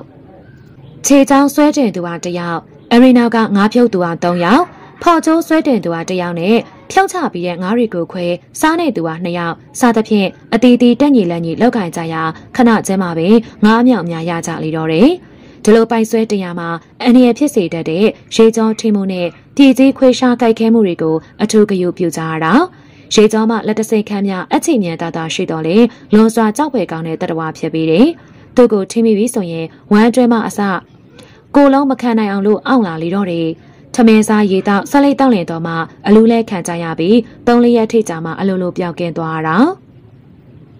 ပြည်ကြီးခွေးရှာကြိုက်ခင်ရပြီဆိုရင်လည်းအဲ့ဒီနေတိုင်းမှာပဲအခန့်ရဆိုးလာပါတယ်ပြည်ကြီးခွေးရှာရဲ့အသွားသုံးတက်ရှိတဲ့သွားတွေနဲ့တခုမဟုတ်တခုထက်ကထက်ခါနဲ့ကြိုက်တက်လျာအကြိုက်ခင်ရတဲ့အနာဟာတစားတစားနဲ့ရဲလာတက်ပြီးတော့ကြာရင်အလုတ်ပြက်အကိုင်ပြက်ထိဒုက္ခပေးတတ်တယ်ပင်လယ်တွင်းမှာမရေမတွက်နိုင်လောက်အောင်များပြားလာတဲ့ငါးမျိုးစုံတတဝမျိုးစုံတို့ရှိလျာအခုဖမ်းမိတဲ့ငါးမျိုးစားပင်အလွန်ကိုများပြားလာပါတယ်။အဖိုးတန်လာတဲ့ငမန်းပင်လေအမျိုးစားများလာကြတဲ့ ကျွဲငမန်း၊ကြာငမန်း၊ကျဲငမန်း၊ငါးမန်းဘလူး၊ဟိုင်ငမန်း၊ဆွဲငမန်းတို့ဖြစ်ကြတယ်။တခြားငါးတွေမှာငတလောက်ငဟောက်ငယောင်ကကူရန်ကသမင်းငကွင်းရှက်ငါးကလာငါးညိုလိုလည်းခေါ်ကြတယ်။ငါးမုံငါးပေါင်းငါးမုံဖြူကျွဲငမုံစင်ငမုံနဲ့တခါတရံငါးဆင်လင်းပိုင်လင်းကူနဲ့လိတ်ကြောက်စတဲ့ငါးကြီးတွေကိုလည်းမိတတ်ပါတယ် ရှင်းမဖြုံးရချပေးတဲ့ငါးတွေကိုငချခွဲသမားနှစ်ယောက်ကဒိုင်ခံကအလင်းမြန်ခွဲပြီးတော့စားနေကြတယ်။ဒီလိုနဲ့တက်ညီလက်ညီလောက်ကြရမကြခင်မှာပင်ပြီးစီသွားလိတဲ့။အဲဒီချိန်မှာပင်လယ်လေးမှာဥတီယာမရှိဟိုမဒီမှာတိုက်ခန်းနေတာ။တစားတစားနဲ့အရှိန်ပြင်းစွာတိုက်ခတ်လျာဓမ္မဟုတ်ချင်းလှိုင်းလုံးကြီးတွေထလာတဲ့အတွက်နီးစပ်ရာကျွန်းတကျွန်းကိုခက်ကြဝင်ခိုရန်အတွက်ဆုံးဖြတ်လိုက်ကြပြီးအနီးဆောင်မှာရှိနေတဲ့ပရီပါမစ်ကျွန်းကိုခုံမောင်းခဲ့ကြလိတော့တယ်။ လေခွေရခွေးတခွေးကိုရောက်တဲ့အခါမှာတော့အဲ့ဒီခွေးကလိုင်းထဲမှာဆက်လေနှစ်စီးရဲ့တရံကိုမတဲမကွဲမြင်လိုက်တဲ့အတွက်မိမိတို့ရဲ့ဆက်လေကိုဆက်တက်ရလိုက်ပြီးတော့ခြုံခွဲတစ်ခုဘေးကိုဝင်ကန်လိုက်ကြတာ။အေးကျော်ကြီးဟိုမှာမြင်နေရတာဆက်လေတွေမလား။အေးဟုတ်တယ်ငါလည်းအဲ့ဒါပဲကြည့်နေတာကွာရိုးရိုးသားသားလေမိုးဝင်ခူတာမှဟုတ်ရလားမသိပါဘူးနေမောင်တယောက်တည်းမှချက်ချဟန်နဲ့ပြောလိုက်တာအခုခါမှာသူတို့နှစ်ယောက်အနေကိုဇော်ဝင်းမရောက်လာတဲ့အတွက်အကျိုးကြောင့်ပြောပြလိုက်တယ်ဓာတ်ပြတ်တယ်လို့လို့လေ ဒုဆက်လီလည်းအခုချက်ချင်းထွက်နိုင်မှာမဟုတ်တာတွားကြည့်ကြမလားဒုက္ခရောက်နေတဲ့သူတွေဆိုရင်လေကုညီတန်ကုညီကြတာပေါ့ကျန်တဲ့သူတွေကိုမှားကြပြီးနေမောင်အေးကြောင်နဲ့ဇော်ဝင်းတို့၃ယောက်ဟာဓာတ်တလက်စီကိုယူတောဘော်ကနေတက်ပြီးတော့ရှောက်ကြတယ်နေ့လယ်ဘက်ဖြစ်တဲ့အတွက်တောထဲမှာမြင်မြင်ထင်ထင်ရှိလာတော့လေလူသူရောက်ပေါက်နေတဲ့နေမြေဖြစ်တဲ့အတွက်ခြုံတဲ့ပိတ်ပေါင်းတွေထိုးတက်လာပြီးပါလာတဲ့ဓာတ်နဲ့ခုတ်တွင်ရှင်းလင်းကခက်ခက်ခဲခဲသွားကြရတာ။တားရဲတွေရဲ့ခြေရာတွေကိုတွေးကြတဲ့အတွက်တတိနဲ့ရှောက်ကြရတယ်။ ဆက်လက်နေစီရှိမဲ့နေရာကိုရောက်တဲ့အခါခြေတန်းလုံးလုံးနဲ့ကန်းဆက်ကိုဆင်းကြတာ။ခြုံွယ်တစ်ခုကနေပြီးတောက်ရောက်တာကြည့်လိုက်ကြတဲ့ချိန်မိမိမျက်စိကိုတော့မယုံကြည်နိုင်လောက်အောင်အံ့ဩမှုတွေဖြစ်ကြရတာ။ဘာလို့လဲဆိုရင်တော့ဆက်လီ20နဲ့တစ်စဲမှာထုံးဖေဦးစီးတဲ့ဆက်လီဖြစ်ပြီးကြံတစ်စဲမှာမြေတိအမျက်သားမှမပါတဲ့နိုင်ငံခြားဆက်လီတစ်စင်းဖြစ်နေတဲ့အတွက်ကြောင့်သာဖြစ်ပြီးတယ်။ဂျပန်လီဘော်ကိုထုံးဖေတို့ကငချောင်းလိတ်တွေ ငစနယ်တွေနဲ့ပင်လယ်အတွက်ပစ္စည်းအမျိုးမျိုးကိုတည်တံပေးနေတာကိုမြင်ရတဲ့အတွက်ထုံးဖေတို့မှာနိုင်ငံခြားမှောင်ခုံနဲ့ဆက်တွေကကိုကျိုးရှာကြမှန်းသိရလေတော့တယ်။တုံးယောက်သားအချိန်တန်ကြာသည်ထိကြည့်နေပြီးတော့မှနေရာကနေပြန်ထွက်ခဲ့ကြတာ။ချောဖေးကဒုတ်တင်ထားတဲ့ထထောင်ပို့ပြီးတော့ရုံမာတဲ့အကောင်ပဲကွာလန်ခုလန်းရောက်မှအေးချုံကမှတ်ချက်ချတာဦးညိုတရားသူ့ကိုယုံကြည်စိတ်ချလို့ဆက်လေတဲ့စီလုံးပုံအပ်ပြီးတော့ပေးလိုက်တာသူကဒီမှာလာပြီးတော့ရတဲ့ငါတွေရောင်းကိုကျိုးရှာနေတာ သူ့ဆက်လေရလူတွေကိုဘလောင်မြအပိုင်စီယုံထားလည်းမသိပါဘူးဇော်ဝင်းကပါဝင်ပြောလိုက်တဲ့အတွက်နေမောင်ကအန်တစ်ချက်ကိုကျိန်လိုက်တယ်ကိုထုံးပေတလို့လောက်တာဟာအားလုံးအတွက်ထိခိုက်တာပဲကွာရုတ်တရက်တော့နားမလဲကြပါစေနေမောင်ကဆက်ပြီးတော့ရှင်းပြတယ်ပိုင်ရှင်ဖြစ်တဲ့ဦးညွန့်တန်ဘက်ကကြည့်မယ်ဆိုရင်လေအရင်နှင်းများများနဲ့ထူထောင်ထားတဲ့လုပ်ငန်းဒီလုပ်ငန်းတစ်ခုဆုံးရှုံးခံလိုက်ရတယ်လို့ပဲဂျိုတိုင်းပြည်အတွက်ဒရတာထောက်ကူဖြစ်စေမယ့်ရိတ်ခါတွေကိုဂျပန်နိုင်ငံကိုခိုးထုတ်ရောင်းချပစ်တာကတော့ကိုကျိုးကြည်လုံးပါတယ် တရားမယ်လို့နဲ့ကိစ္စပဲဒါရီယိုဒုဒရီတီလျန်နဲ့ဒီတိုင်းကြည့်နေလို့ဖြစ်ဘူးရွာပြောင်းမှတက်တေထောက်ထားမရှိဘဲနဲ့တိုင်တန်းပြီးရိတ်ရုပ်ခိုင်းတာနဲ့ဆိုင်ဂျိုနီတိုဝန်နဲ့တားဆီးနိုင်တော့ပိုကောင်းလိမ့်မယ်အေးဒါပေမဲ့ဂျပန်နိုင်ငံကတင်မောပေါ်မှာလက်နက်ကောင်တွေပါချင်ပါလာမှာပေါ့ဒါကတော့ကြားမှာပေါ့ကွာလက်နဲ့အင်အားလူအင်အားတိုင်းအဲ့လိုသာအင်အားတွေသာများတိုင်းကြောက်စရာမလိုပါဘူးကြံရင်ဖန်ရအဓိကပါပဲ တောက်ရောက်တာအစီအစဉ်တွေခြိုင်းနဲ့ပြန်လျှောက်လာကြရာမကြခင်မိမိတို့ဆက်လက်ကိုပြန်ရောက်လာကြလေတော့တယ်။နေဝင်ခံနေချိန်ထိလျက်မငြိမ်တတ်သေးပါကြ။တို့ပေမဲ့စောစောလောက်မပြင်းထန်လာပြီးတမန်အနေထားထက်အတိုင်ငယ်လှိုင်းကြည့်နေသည်မှာပါသွားမယ်ဆိုကသွားနိုင်လောက်တဲ့အချိန်တွေရှိနေတာ။အဲ့ဒီချိန်မှာပရီပါရက်ဂျော်နီမှဆက်လက်တဲ့ဆယ်မောင်းထသွားတယ်။လိုင်းတန်လေးတန်နဲ့အဲ့ဒီဆက်တန်ကိုရုတ်တရက်မကြားနိုင်ကြပါကြ။ဒီချိန်မှာချောပီတော်အုပ်စုမှာအယောဝယ်ပြုလုပ်လို့ကောင်းနေကြဆဲဖြစ်တဲ့ လူတို့ရောက်ပေါက်နေလာတဲ့နေရာလေးဖြစ်ပြန်လုံခြုံစိတ်ချရလို့ထင်နေတဲ့နေရာလေးဖြစ်တဲ့အတွက်ဒီလိုစိတ်ချလက်ချလောက်ကင်နေခြင်းဖြစ်ကြရ၏ဒီချိန်ဒီမှာတောရိတ်ကိုခုသူတို့ရဲ့အရေးချိန်တွေကိုကြည့်နေကြတဲ့လူသုံးယောက်ကိုတတိမပြုံးမိကြပါစေအဲ့ဒီသုံးယောက်မှာနေမောင်အေးကြော်နဲ့ဇော်ဝင်းတို့ဖြစ်ကြတယ်သူတို့လက်ထဲမှာလက်နက်ဆိုလို့ကြေကြီးမမမရှိလာပါပဲဓာတ်တလက်စီတာကင်ထားကြတာငါးခွဲငါးခုတ်တဲ့ဓာတ်တွေပင်ဖြစ်လင်ကစားအသွားချလာတဲ့ဓာတ်တွေသာဖြစ်ပြီးတယ်တစားတစားအမောင်ရိပ်တွေတန်းလာကြပြီး တောရိပ်တွေကြောင့်ကမ်းခြေတဝိုင်းမှာပို့ပြီးတော့အမောင်ရိပ်တွေလွှမ်းနေတာအဲဒီချိန်မှာဆက်လီနက်စီမှာအယောင်းဝယ်ပြုလုပ်လို့ပြီးစီလို့နေပြီပင်လယ်ပြင်မှာအမောင်ရိပ်လွှမ်းတာနဲ့ခီးထွက်ရန်ပြင်ဆင်နေကြတာကမ်းပေါ်မှာအနီမောင်တို့အုပ်စုလှောက်ရှားလာကြပြီးခြုံနယ်တွေကိုခုခြေတန်ရေတန်မကြောက်အောင်လို့ရေထဲကိုဆင်းလာကြတာအေးမြတဲ့ပင်လယ်ရေရဲ့အတိတ်ထွေဟာကြောက်စိမ့်ပွေရာဖြစ်နေတော့လေဂယုမပြူအားပါကြီး လိုင်းခတ်တန်နဲ့လေတန်လိုင်းတန်တွေဟာသူတို့ရဲ့လှုပ်ရှားမှုတွေကိုအကာအကွယ်ပြုထားသည့်နယ်ရှိတဲ့အတွက်လွတ်လပ်မှုတော့ရှိနေတာရေကျွမ်းကျန်တဲ့သူတွေကြီးဖြစ်တဲ့အတွက်အตาအယာကုခတ်လာပြီးဆက်လက်နှစင်းဘေးကိုအသေးသေးကတ်လာမေးကြပြီးအခုချိန်နေထိဆက်လက်နှစင်းပေါ်မှာလူတွေကလုံးဝမရေမေးကြသေးပါသေးဒီလိုဖြစ်လာလိမ့်မယ်လို့လုံးဝမထင်ထားတဲ့အတွက်အေးအေးဆေးဆေးလှုပ်ရှားနေကြကြတာဖြစ်ပြီးတဲ့အနည်းကိုရောက်ပြီးစရာနဲ့တိုင်ပင်ထားကြတဲ့အတိုင်းရေရောက်ကိုငုံဝင်ပြီးတော့ဆက်လီဝမ်းပိုက်သားတွေကိုဓာတ်နဲ့ထိုးခွဲပြစ်ကြတာ ဆက်လေးဆိုတွေမှာစက်ကြမ်းခင်းထားတဲ့အတွက်အောက်ကနေပေါက်ထွက်တော့လေရုတ်တရက်မမြင်နိုင်မသိနိုင်ပါကြီးနေမောင်တို့၃ယောက်မှာရေမောလာလိုက်ဖော်လိုက်ပြန်ငုတ်လိုက်ထိုးဖောင်းလိုက်နဲ့ဆက်လီဝမ်းပိုက်သားတွေမှာအပေါက်ကြီးတွေဖြစ်လာတော့တယ်ဟာရေတွေဝင်လာပါလားဟာဟုတ်တယ်ဟိအောက်ကငုံနဲ့စောင့်မိပြီးတော့ပေါက်ကုန်ပြီနဲ့တူတယ်စမ်းကြည့်ကြပါဦးဟာလှေနဲ့ဆင်းပေါ်မှာငရဲပွက်တန်လာစူညံနေတော့တာတချို့ကတော့ဝင်လာတဲ့ရေတွေကိုပတ်ထုတ်နိုင်ရန်စူးစမ်းနေကြပြီး တယောက်နှစ်ယောက်ကတော့ရေထဲကိုခုန်ဆင်းလာကြတာအမောင်တွင်းဝယ်ရေအောက်ကိုရောက်လာတဲ့သူနှစ်ဦးမှာနေမောင်တို့လက်ချက်နဲ့လောကကြီးနဲ့အဆက်အသွယ်ပြတ်ကုန်ပြီဟာရေအောက်ဆန်းသွားတဲ့ကောင်တွေအပေါက်ရှာပိတ်ဆို့ပါဆိုတာဘာလို့နေကြတာလဲဒီမှာရေတွေဝင်းနေတော့မေညင်မြန်လောက်ကြစမ်းပါဟာအပေါက်ရှာမတွေ့ဘူးပြို့ဆင်းကြပါဦးဇော်ဝင်းကအတန်ဖြတ်ပြီးတော့အော်ပြောလိုက်တာဒလအပေါက်တွေများနေရတော့ရှာမတွေ့ဘူးလားကွာကျန်တဲ့ကောင်တွေစမ်းကြစမ်းကွာဒီမှာနစ်တော့မယ်တောင်းရောက်ထပ်ပြီးတော့ဆက်လာကြပြန်ပါတယ် အမောင်တွဲမှအန်နေကြောင့်ကိစ္စပြတ်သွားပြန်နေဒိုစီရိုက်နေနေရေးမှာသူ့အသက်ကိုယ်သက်လုံနေရတဲ့ချိန်နေမလို့ဘသူ့မှမညာနိုင်တော့ပါကြီးအခုချိန်นี้ကနေမောင်တို့ဘက်ကတပန်းတာနေတာလက်ဦးမှုရရှိနေစေဖြစ်ပြီးတယ်ဆက်လေး20မှာရေရဲခတ်ချောင်းနေတဲ့ကြားကနေမနိုင်အောင်ဖြစ်လာပြီးတော့တစားတစားနင်းမြုပ်လာကြပြီဟေ့လူတွေစက်သွားတာကြားလာပြီအခုတည်းရေပေါက်တရားမပိတ်သေးပါလားငမကိုက်လိုက်လို့များတေကုန်ပြီလားကွာဟေ့ဆက်တွေမောင်းဆန်းကွာမီးစလိုက်နဲ့ထိုးကြည့်ရအောင် အခုအချိန်ဒီမှာနေရာမခွာကြရန်အချိန်တန်ပြီလို့သိလိုက်ကြပြီးရေအောက်ကနေငုတ်ထွက်ကြတယ်ဆက်တွေရေမြုပ်နေတဲ့အတွက်ရုတ်တရက်နှိုးမရတဲ့အတွက်သူတို့တောင်းရဖို့အချိန်နေကောင်းနေတယ်အခွင့်ရနေစေတာဖြတ်ပြီးတယ်အတန်ငန်လန်းတဲ့နေရာကိုရောက်တဲ့အခါဆက်လီပေါ်မှာလက်နေမီးတွေနဲ့ထိုးရှာနေတာကိုမြင်ရတယ်ဟာဟိုမှာဒုလူတွေဘလို့ဖြစ်ကုန်ကြတာလဲကွာ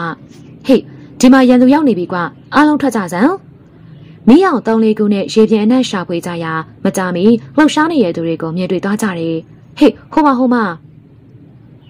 သို့တော်နီမောင်တို့ကန်ကောင်းလာပါတယ်ဆက်လီတွေစံလို့မရတဲ့အတွက်အေးအေးဆေးဆေးပင်ကုတ်ခတ်လာရာမကြမီတနတ်တန်တွေစတင်ကြားရပြီးတိတ်ဆိတ်နေတဲ့အခါဖြစ်တဲ့အတွက်ကြောင်းရင်းနဲ့တနတ်တန်တွေမှာကျင်းလောင်စွာနဲ့ပေါ်ထွက်နေတာမိမိတို့ဝင်းကျင်ကိုကြည်စံတွေမိုးပေါက်သက်ခွဲကြာဆင်းလာတယ်ဒါကြောင့်ရေအောက်ကနေငုံပြေးကြရင်ကနေတကြိမ်မှာနေမောင်ကြောပြင်ကိုကြည်စံတရဝင်မှန်လေးတယ်နေမောင်ရုတ်တရက်ကူအားပြော့သွားတယ်ခဏချင်းမှပဲဝင်းကျင်ကိုတွင်းနဲ့နေထွက်လာတယ် ပင်လယ်ပြင်မှာသွေးနဲ့ဟာတင်မဲကြမန်တွေဖြစ်တဲ့ငမန်းတွေနဲ့တားစားမိကြောင်းတွေကိုဖိတ်ခေါ်သည်နဲ့ရှိတာကိုနားလည်ထားကြတာမလို့အချိန်ဆွဲမိတော့ပဲနဲ့အေးချောင်နဲ့ဇော်ဝင်းတို့ကတစ်ပတ်တစ်ချက်စီတွေကြည်လန်းလို့ရာထိကူးလာကြတယ်ထိုစဉ်ပင်လယ်ခွေတွင်းကိုဝင်လာတဲ့သင်္ဘောစလိုက်မီးရောင်တွေကိုမြင်လိုက်တဲ့အတွက်ဝမ်းသာသွားကြလေတော့တယ်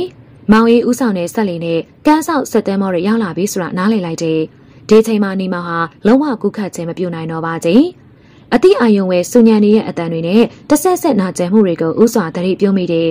မျက်လုံးကိုဖွင့်ကြည့်လိုက်တဲ့အခါမှာတော့ဆိုးရှားတဲ့အလင်းရောင်ကြောင့်အလင်းမြန်ဖွင့်လို့မရပါဘူးမျက်တောင်ဆန်းနှစ်ခုကိုခတ်မေးမေးထားရင်ကနေပတ်ဝန်းကျင်ကိုကြည့်တယ်မိမိတွေ့ဘူးမြင်ဘူးရင်းနှီးနေတဲ့လူများကိုအပားမှတွေ့နေရတာအဖေအမေနဲ့ဦးညွန့်တင်ခင်လေးတို့မျက်နှာတွေမှာစိုးရိမ်မှုလွန်ကဲနေရလို့ထင်မိတယ်သူမျက်လုံးဖွင့်ကြည့်မိတဲ့အခါမှာတော့အဖေနဲ့အမေတို့ရဲ့မျက်နှာတွေမှာတမဟုတ်ချင်းရွှင်လန်းတက်ကြွလာလေတယ် ဦးညွန့်တင်ကရှေ့ကိုတိုးဝင်လာတာမောင်နေမောင်သတိရလာပြီလားခေါင်းကြီးပြရင်းနဲ့စကားပြောဖို့အာရုံကျလိုက်တယ်။လေချောင်းတစ်လျှောက်ခြောက်သွေ့နေတဲ့အတွက်စကားဆိုလို့မရပါသေး။ကုသပေးနေတဲ့ဆရာဝန်ကရေတိုက်လူကအနှဲငယ်တိုက်ခွင့်ရှိကြောင်းပြောတဲ့အတွက်ခင်လေးကရေတစ်ခွက်ကိုခတ်ယူပေးတယ်။ဦးညိုတင်ကတော့ခင်လေးရဲ့အပြုတ်မှုနဲ့လှုပ်ရှားမှုတွေကိုသတိထားနေမိတာ။ရေကိုအာဆွတ်ယုံများတောက်ပြီးတဲ့အခါမှာအတန်ငယ်အားရှိလာပြီ။ မောင်နီမောင်တို့နဲ့အဖွဲသားတွေရဲ့စိတ်ဓာတ်နဲ့လှုပ်ဆောင်ချက်တွေကိုတကယ့်ကိုချေးကျူးထိုက်ပါပြီတဲ့။အားလုံးကလည်းချေးကျူးနေကြတာ။မင်းတို့တွေရဲ့တာဝန်သိမှုတွေကြောင့်အသားရရလောက်ထွက်တဲ့သစ္စာပေါက်တွေရောတစ်ဖက်ကဝိသမလောဘတာမှောင်ကိုသမားတွေရောအားလုံးကိုဖမ်းမိလိုက်တယ်လေ။အော်လို့ဆိုကရင်တွဲမှဝမ်းသာသွားမိတယ်။မိမိတို့စွန်စားဆောင်ရွက်မှုတွေအောင်မြင်ခဲ့တဲ့အတွက်ကျေနပ်မှုလည်းဖြစ်နေမိတာ။မကောင်းတဲ့သူတွေကိုတရားဥပဒေအရအရေးယူပြီးတော့မင်းတို့အဖွဲ့ကိုထိုက်ထိုက်တန်တန်ခုံပြဖို့စီစဉ်ပေးရမယ်။ မင်းနေကောင်းသွားပြီဆိုရင်ဦးလေးရပဲဥဆောင်ပြီးတော့လုပ်ပေးပါမယ်။ကျေးဇူးတင်ပါတယ်ဦးလေးရဲ့။ဦးညံဖြူနဲ့ဒေါ်စန်းတို့ကလည်းကျင်းနဲ့ဝမ်းသာကြောင်းပြောကြလေတယ်။အတန်ကြာစကားပြောဆိုပြီးပြီဆိုတာနဲ့ဦးညွန့်တင်နဲ့ဆရာဝန်မှပြန်သွားကြရာအခန်းတွင်မှာတော့ဦးညံဖြူဒေါ်စန်းနဲ့နေမောင်ခင်လေးတို့သာကြံခဲ့လေတော့မှခင်လေးကအနည်းကိုတူလာတယ်။အခုတက်တာနေမဟုတ်လားယင်။ဒရကကြောကနေရှာပြီးတော့ပခုံးသားကိုဖောက်သွားတာပါ။တိတ်လည်းမစိုးရပါဘူး။မကြခင်ပျောက်သွားမှာပါခင်လေးရဲ့။ အကူတညနဲ့တနေ့သတိလက်နေတာဆရာဦးကောင်းမြတ်ကလည်းအတော့ဂရုစိုက်ရှာပါတယ်။ဒါကြောင့်ဒီလောက်မြင်မြန်နဲ့နေကောင်းလာတာ။တထက်အကိုတို့ဘလို့ဖြစ်ကြတာလဲနေမောင်ကဇလန်းစာဆုံးကိုအာယူပြီးတော့ရှင်းပြလိုက်တာအကိုရဲ့တငယ်ချင်းတွေကတိတ်ကိုတော်ကြတာအေးကြော်တို့သာအသက်ဆုံးမမကဲဘူးဆိုရင်ဒီလောက်ဆိုရင်ပင်လေတွင်းမှာငမန်းစာဖြစ်ပြီးပြီပေါ့ကွယ်ဒီလိုပြောလိုက်လေတော့တယ်ကိုအေးကြော်လည်းလာမဲနေမှာဦးစီးတိုးပေးမယ်လို့ပြောနေတယ်ဝမ်းသာစရာပေါ့ကွယ်တကယ်တော့အေးကြော်ကလူတော်တယောက်ပါ သူလိုလူမျိုးကိုခင်လေးနေနဲ့ညှင်းဖို့မကောင်းပါဘူးအခုခါကအဲ့ဒီစကားမျိုးပြောခဲ့ဘူးစင်ကပြစ်တဲ့စကားပြောခဲ့ဘူးတဲ့အတွက်ခင်လင်းမျက်နှာကိုလှမ်းပြီးအကဲခတ်လိုက်ရာအပြုံးရည်တစ်ချက်တန်းတာကိုသတိပြုမိလိုက်တယ်။အကူကကိုရေးကြောင့်နဲ့အတော့နီးစပ်စေချင်ပုံရရင်နော်။အဲ့ဒီစကားကြောင့်အားကြုံအာနာဖြစ်ရတယ်။ဦးညံဖြူနဲ့ဒေါ်စင်းတို့မှာလူငယ်ကြားမှမနေလို့တော့တဲ့အတွက်အသေးသေးထားသွားကြလေတော့တယ်။ဒီလိုသဘောတော့မဟုတ်ပါဘူး။ ဒါပေမဲ့အေးကြောက်ဘွားနဲ့ခင်လေးတို့ဘွားကလိုင်ယောညစ်ထွေမှုရှိကြတယ်လို့ထင်လို့ပါ။ဒီလိုဆိုရင်အကိုနဲ့စော်နေမအောင်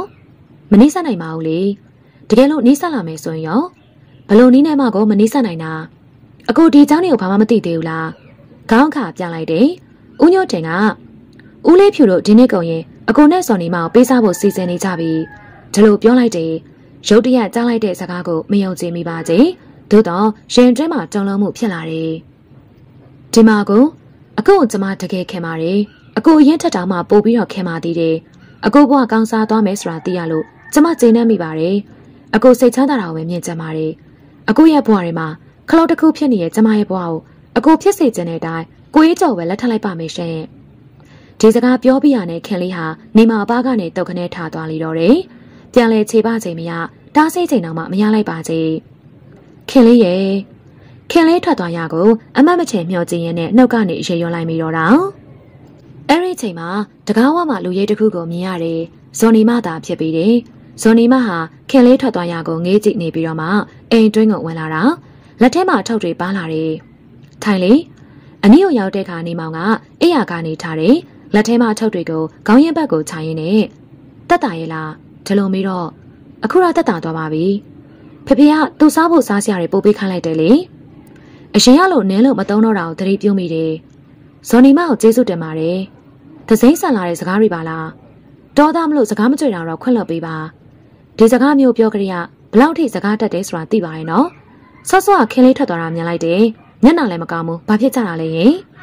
။တပြန်တစ်ချက်ကိုချလိုက်ပါတယ်။အစင်ပြေအောင်မဲလို့စတင်ပြောမှတွေးကြည့်မိတယ်။သူတို့ချင်းအစင်မပြေကြဘူးလား။ခင်းလေးကလက်ချက်တော့မှာပါ။ဟမ်ဘသူနဲ့လဲ။အေးကြော်နဲ့ မယုံတယ်လို့ကြည့်နေတယ်။သူမရဲ့မျက်ဝန်းမှာစိတ်ဝင်စားမှုတွေကြောင့်အယောင်တလန့်လန့်တောက်ပါနေတာကျင်းနှမှုအရေးရောင်တွေဟာမျက်နှာပြင်ပေါ်မှာရှက်တန်းလျက်ရှိနေတယ်။တိတ်ဝမ်းနေနေတဲ့ထင်တယ်။ခင်လေးကိုညီမလေးတယောက်လိုပဲခင်တာပါ။အော်လို့ဆိုကသွားရီပေါ်လာတဲ့အထိပြုံးနေလေတော့တယ်။ဒီအကြောင်းတွေကိုပြောနေတဲ့အခါနေမောက်ရင်ထဲမှာနဲ့နေတရားခံစားလိုက်ရတယ်စိတ်လှုပ်ရှားမှုတွေကြောင့်လူကမငြိမ်လှုပ်လိုက်တိုင်းမှာကျုံရဲကအောင်နေတာ တစ်ချိန်မှာကျုံရဲကနေမခံမရနိုင်အောင်အောင်သွားပြီးတော့ရှုံးမဲ့သွားရာဇော်နီမခမခြေမကင်မိလက်မကင်မိဖြတ်သွားရှာတယ်အာယူပြီးတော့လှုပ်ရှားနေရတဲ့နေမောင်ဘေးမှာဝင်ပြီးတော့ဖေးမပေးလျာခန္ဓာကိုယ်နှစ်ခုမှာပူပူကက်ကက်ရှင်နေပြီးတော့တယ်ဇော်နီမကုံမှာတင်းပြတ်နေတဲ့ရနန်းတွေကိုရှုံမိတဲ့အခါမှာတော့ရင်ထဲမှာအကြံငယ်လန်းဆန်းမှုဖြစ်လာတာနေမောင်ဟာမိမိအားကိုထီးလက်ရောက်ပြုစုပေးနေတဲ့ဇော်နီမကိုကြည့်တနာလာမိတယ်လူကြီးတွေရဲ့အစီမံကြောင့်ဖြစ်စေ ညီတော့ပဲဆိုစေကမူမိမိဘွားတွေကိုရောက်လာခဲ့တဲ့ဇော်နီမရဲ့စေတနာကိုအတိအမှတ်မပြုဘဲနေတော့မနေနိုင်တော့ပါကြ။တို့လေ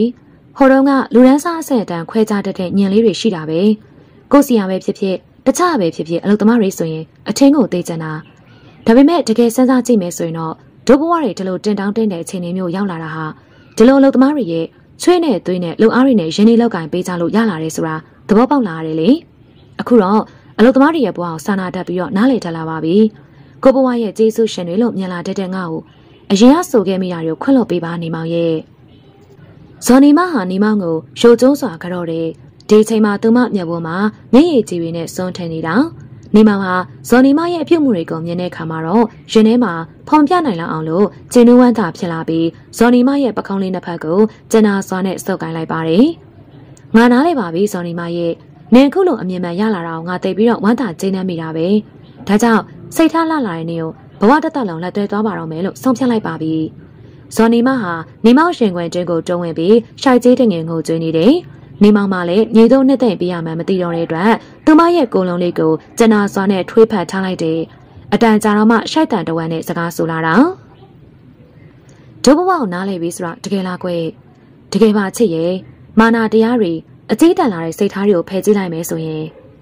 မင်းဟာတကယ်ကိုချစ်ဖို့ကောင်းတဲ့ဇော်နေမပါပဲကိုမင်းကိုတသက်လုံးလက်တွဲသွားပါမယ်ဆိုတာပယ်လေပြင်းပြကြီးကိုတက်သေးသေးမင်းကိုချစ်လုံးလုံးလဲတစ္ဆာဆိုလိုက်ပြရစီတော့ချစ်ရဲ့